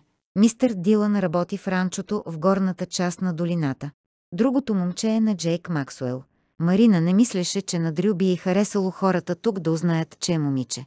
Това е онзи, който нарича себе си доктор, нали? Попита мисис Прут, като кимна към Лорд. Той е много способен хирург. В града няма болни. Сигурна съм, че Лорд ще се радва да чуе това. Е, вие идете и донесете нещата си, каза жената. Преди да се върнете, ще сменя чершафите на леглата. Има ли тук удобно място, където мистер Дилан да смени една превръзка? Попита Марина. Ще го заведа в кухнята. Между другото, как да ви наричам? Марина бе готова да каже мис Кот. Но това щеше да е дори по-лошо, отколкото мисис Дилан. Най-добре ще е да ме наричате просто Марина. Синът ми се казва Танър. Ще трябва да измислим име на бебето. Много бих се радвала да ми предложите някое, каза Марина. Сега, моля, заведете ме в кухнята. Раната на Танър изглеждаше добре. Все още не се бе затворила и засегнатата тъкан бе ярко червена, но нямаше следа от инфекция. Раната винаги трябва да е чиста, предупреди Лорд. Слагайте нова и чиста превръзка. Не използвайте нищо, което преди това не е било изварено. Господи, кой има време да изварява превръзки? Възкликна мисис Прут. Всеки, който иска да избегне инфекцията. Сряза я Лорд. И преди това задължително си измивайте ръцете. И каква полза от това? Настръхна домакинята. Така ще се отървете от микробите. Какво е това микроби? Никога не съм чувала за подобно нещо. Това са малки, невидими организми, които пренасят болести. Изражението на мисис Прут стана сурово и неодобрително. Не вярвам в неща, които не виждам.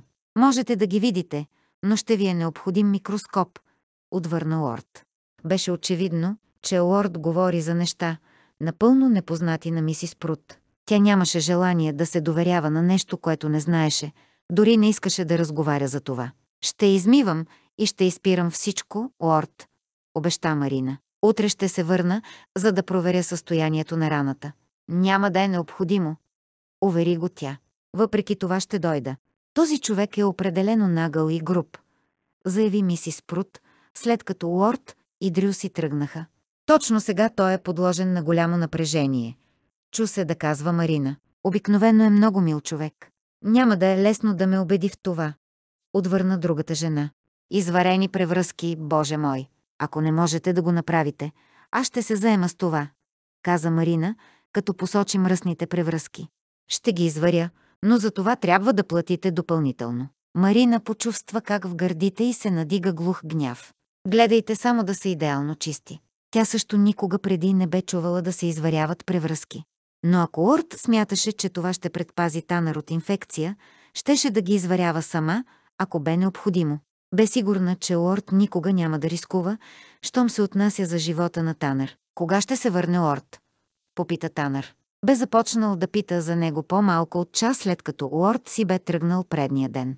През последните два часа Танър бе задал този въпрос поне пет пъти. Не каза, но сигурно няма да се появи тук преди обед. По-голямата част от вчерашния ден премина в настаняване и разговори с почти всяка жена в Сайпрес Бенд. Както мисис Пруд бе предсказала, Марина бе събрала повече дрехи, отколкото бебето можеше да износи. Запита се дали Изабел би използвала някой от тях, ако детето й е момиче. Освен това бяха и предложили много повече имена за бебето, отколкото можеше да запомни. Най-напред получи предложения за имена от Библията като Мери, Елизабет и Ребека. С известно очудване прие местните имена Корамей, Бърди и Флорета. След Аргония, Зилфа и Белсейда сложи точка и престана да ги запомня. Най-накрая се спря на Дейл. Не беше сигурна защо. Никой не хареса това име, особено мисис Прут. Дейл, Долинка, Анго. Бележка на преводача, звучи ми като име на момче. Познавам две жени, които се казват Дейл. Затова си спомних за него. При това, ние я намерихме именно в долината. На мен самата не ми харесва да се кръщават бебета на потоци, долини и други такива. Мога и да си променя решението. Отвърна Марина. Просто си мисля, че Дейл съвсем не е лошо име. Танър не се интересуваше как ще нарекат детето. Това, което наистина го интересуваше, бе идването на Орд. За разлика от него, Марина не искаше да го вижда. Това, че се махна от ранчото, не й помогна да изясни чувствата си. Колкото и да се опитваше, не можеше да забрави, че Орд ят бе напуснал, че не й бе повярвал. Съмняваше се, че някога би могла да му прости това, но чувствата й към него далеч не бяха мъртви. Всъщност бе сигурна, че ако миналото по някакъв начин може да бъде заличено, тя щеше безумно да се влюби в него, както преди седем години. Понякога и бе страшно трудно да не го докосне, да не го помоли да я вземе в прегръдките си дори само за минута. Бе се лишавала цели седем години от отехата на мъжката прегръдка, но миналото не можеше да бъде заличено. А Марина се бе заклела никога повече да не се влюбва безумно –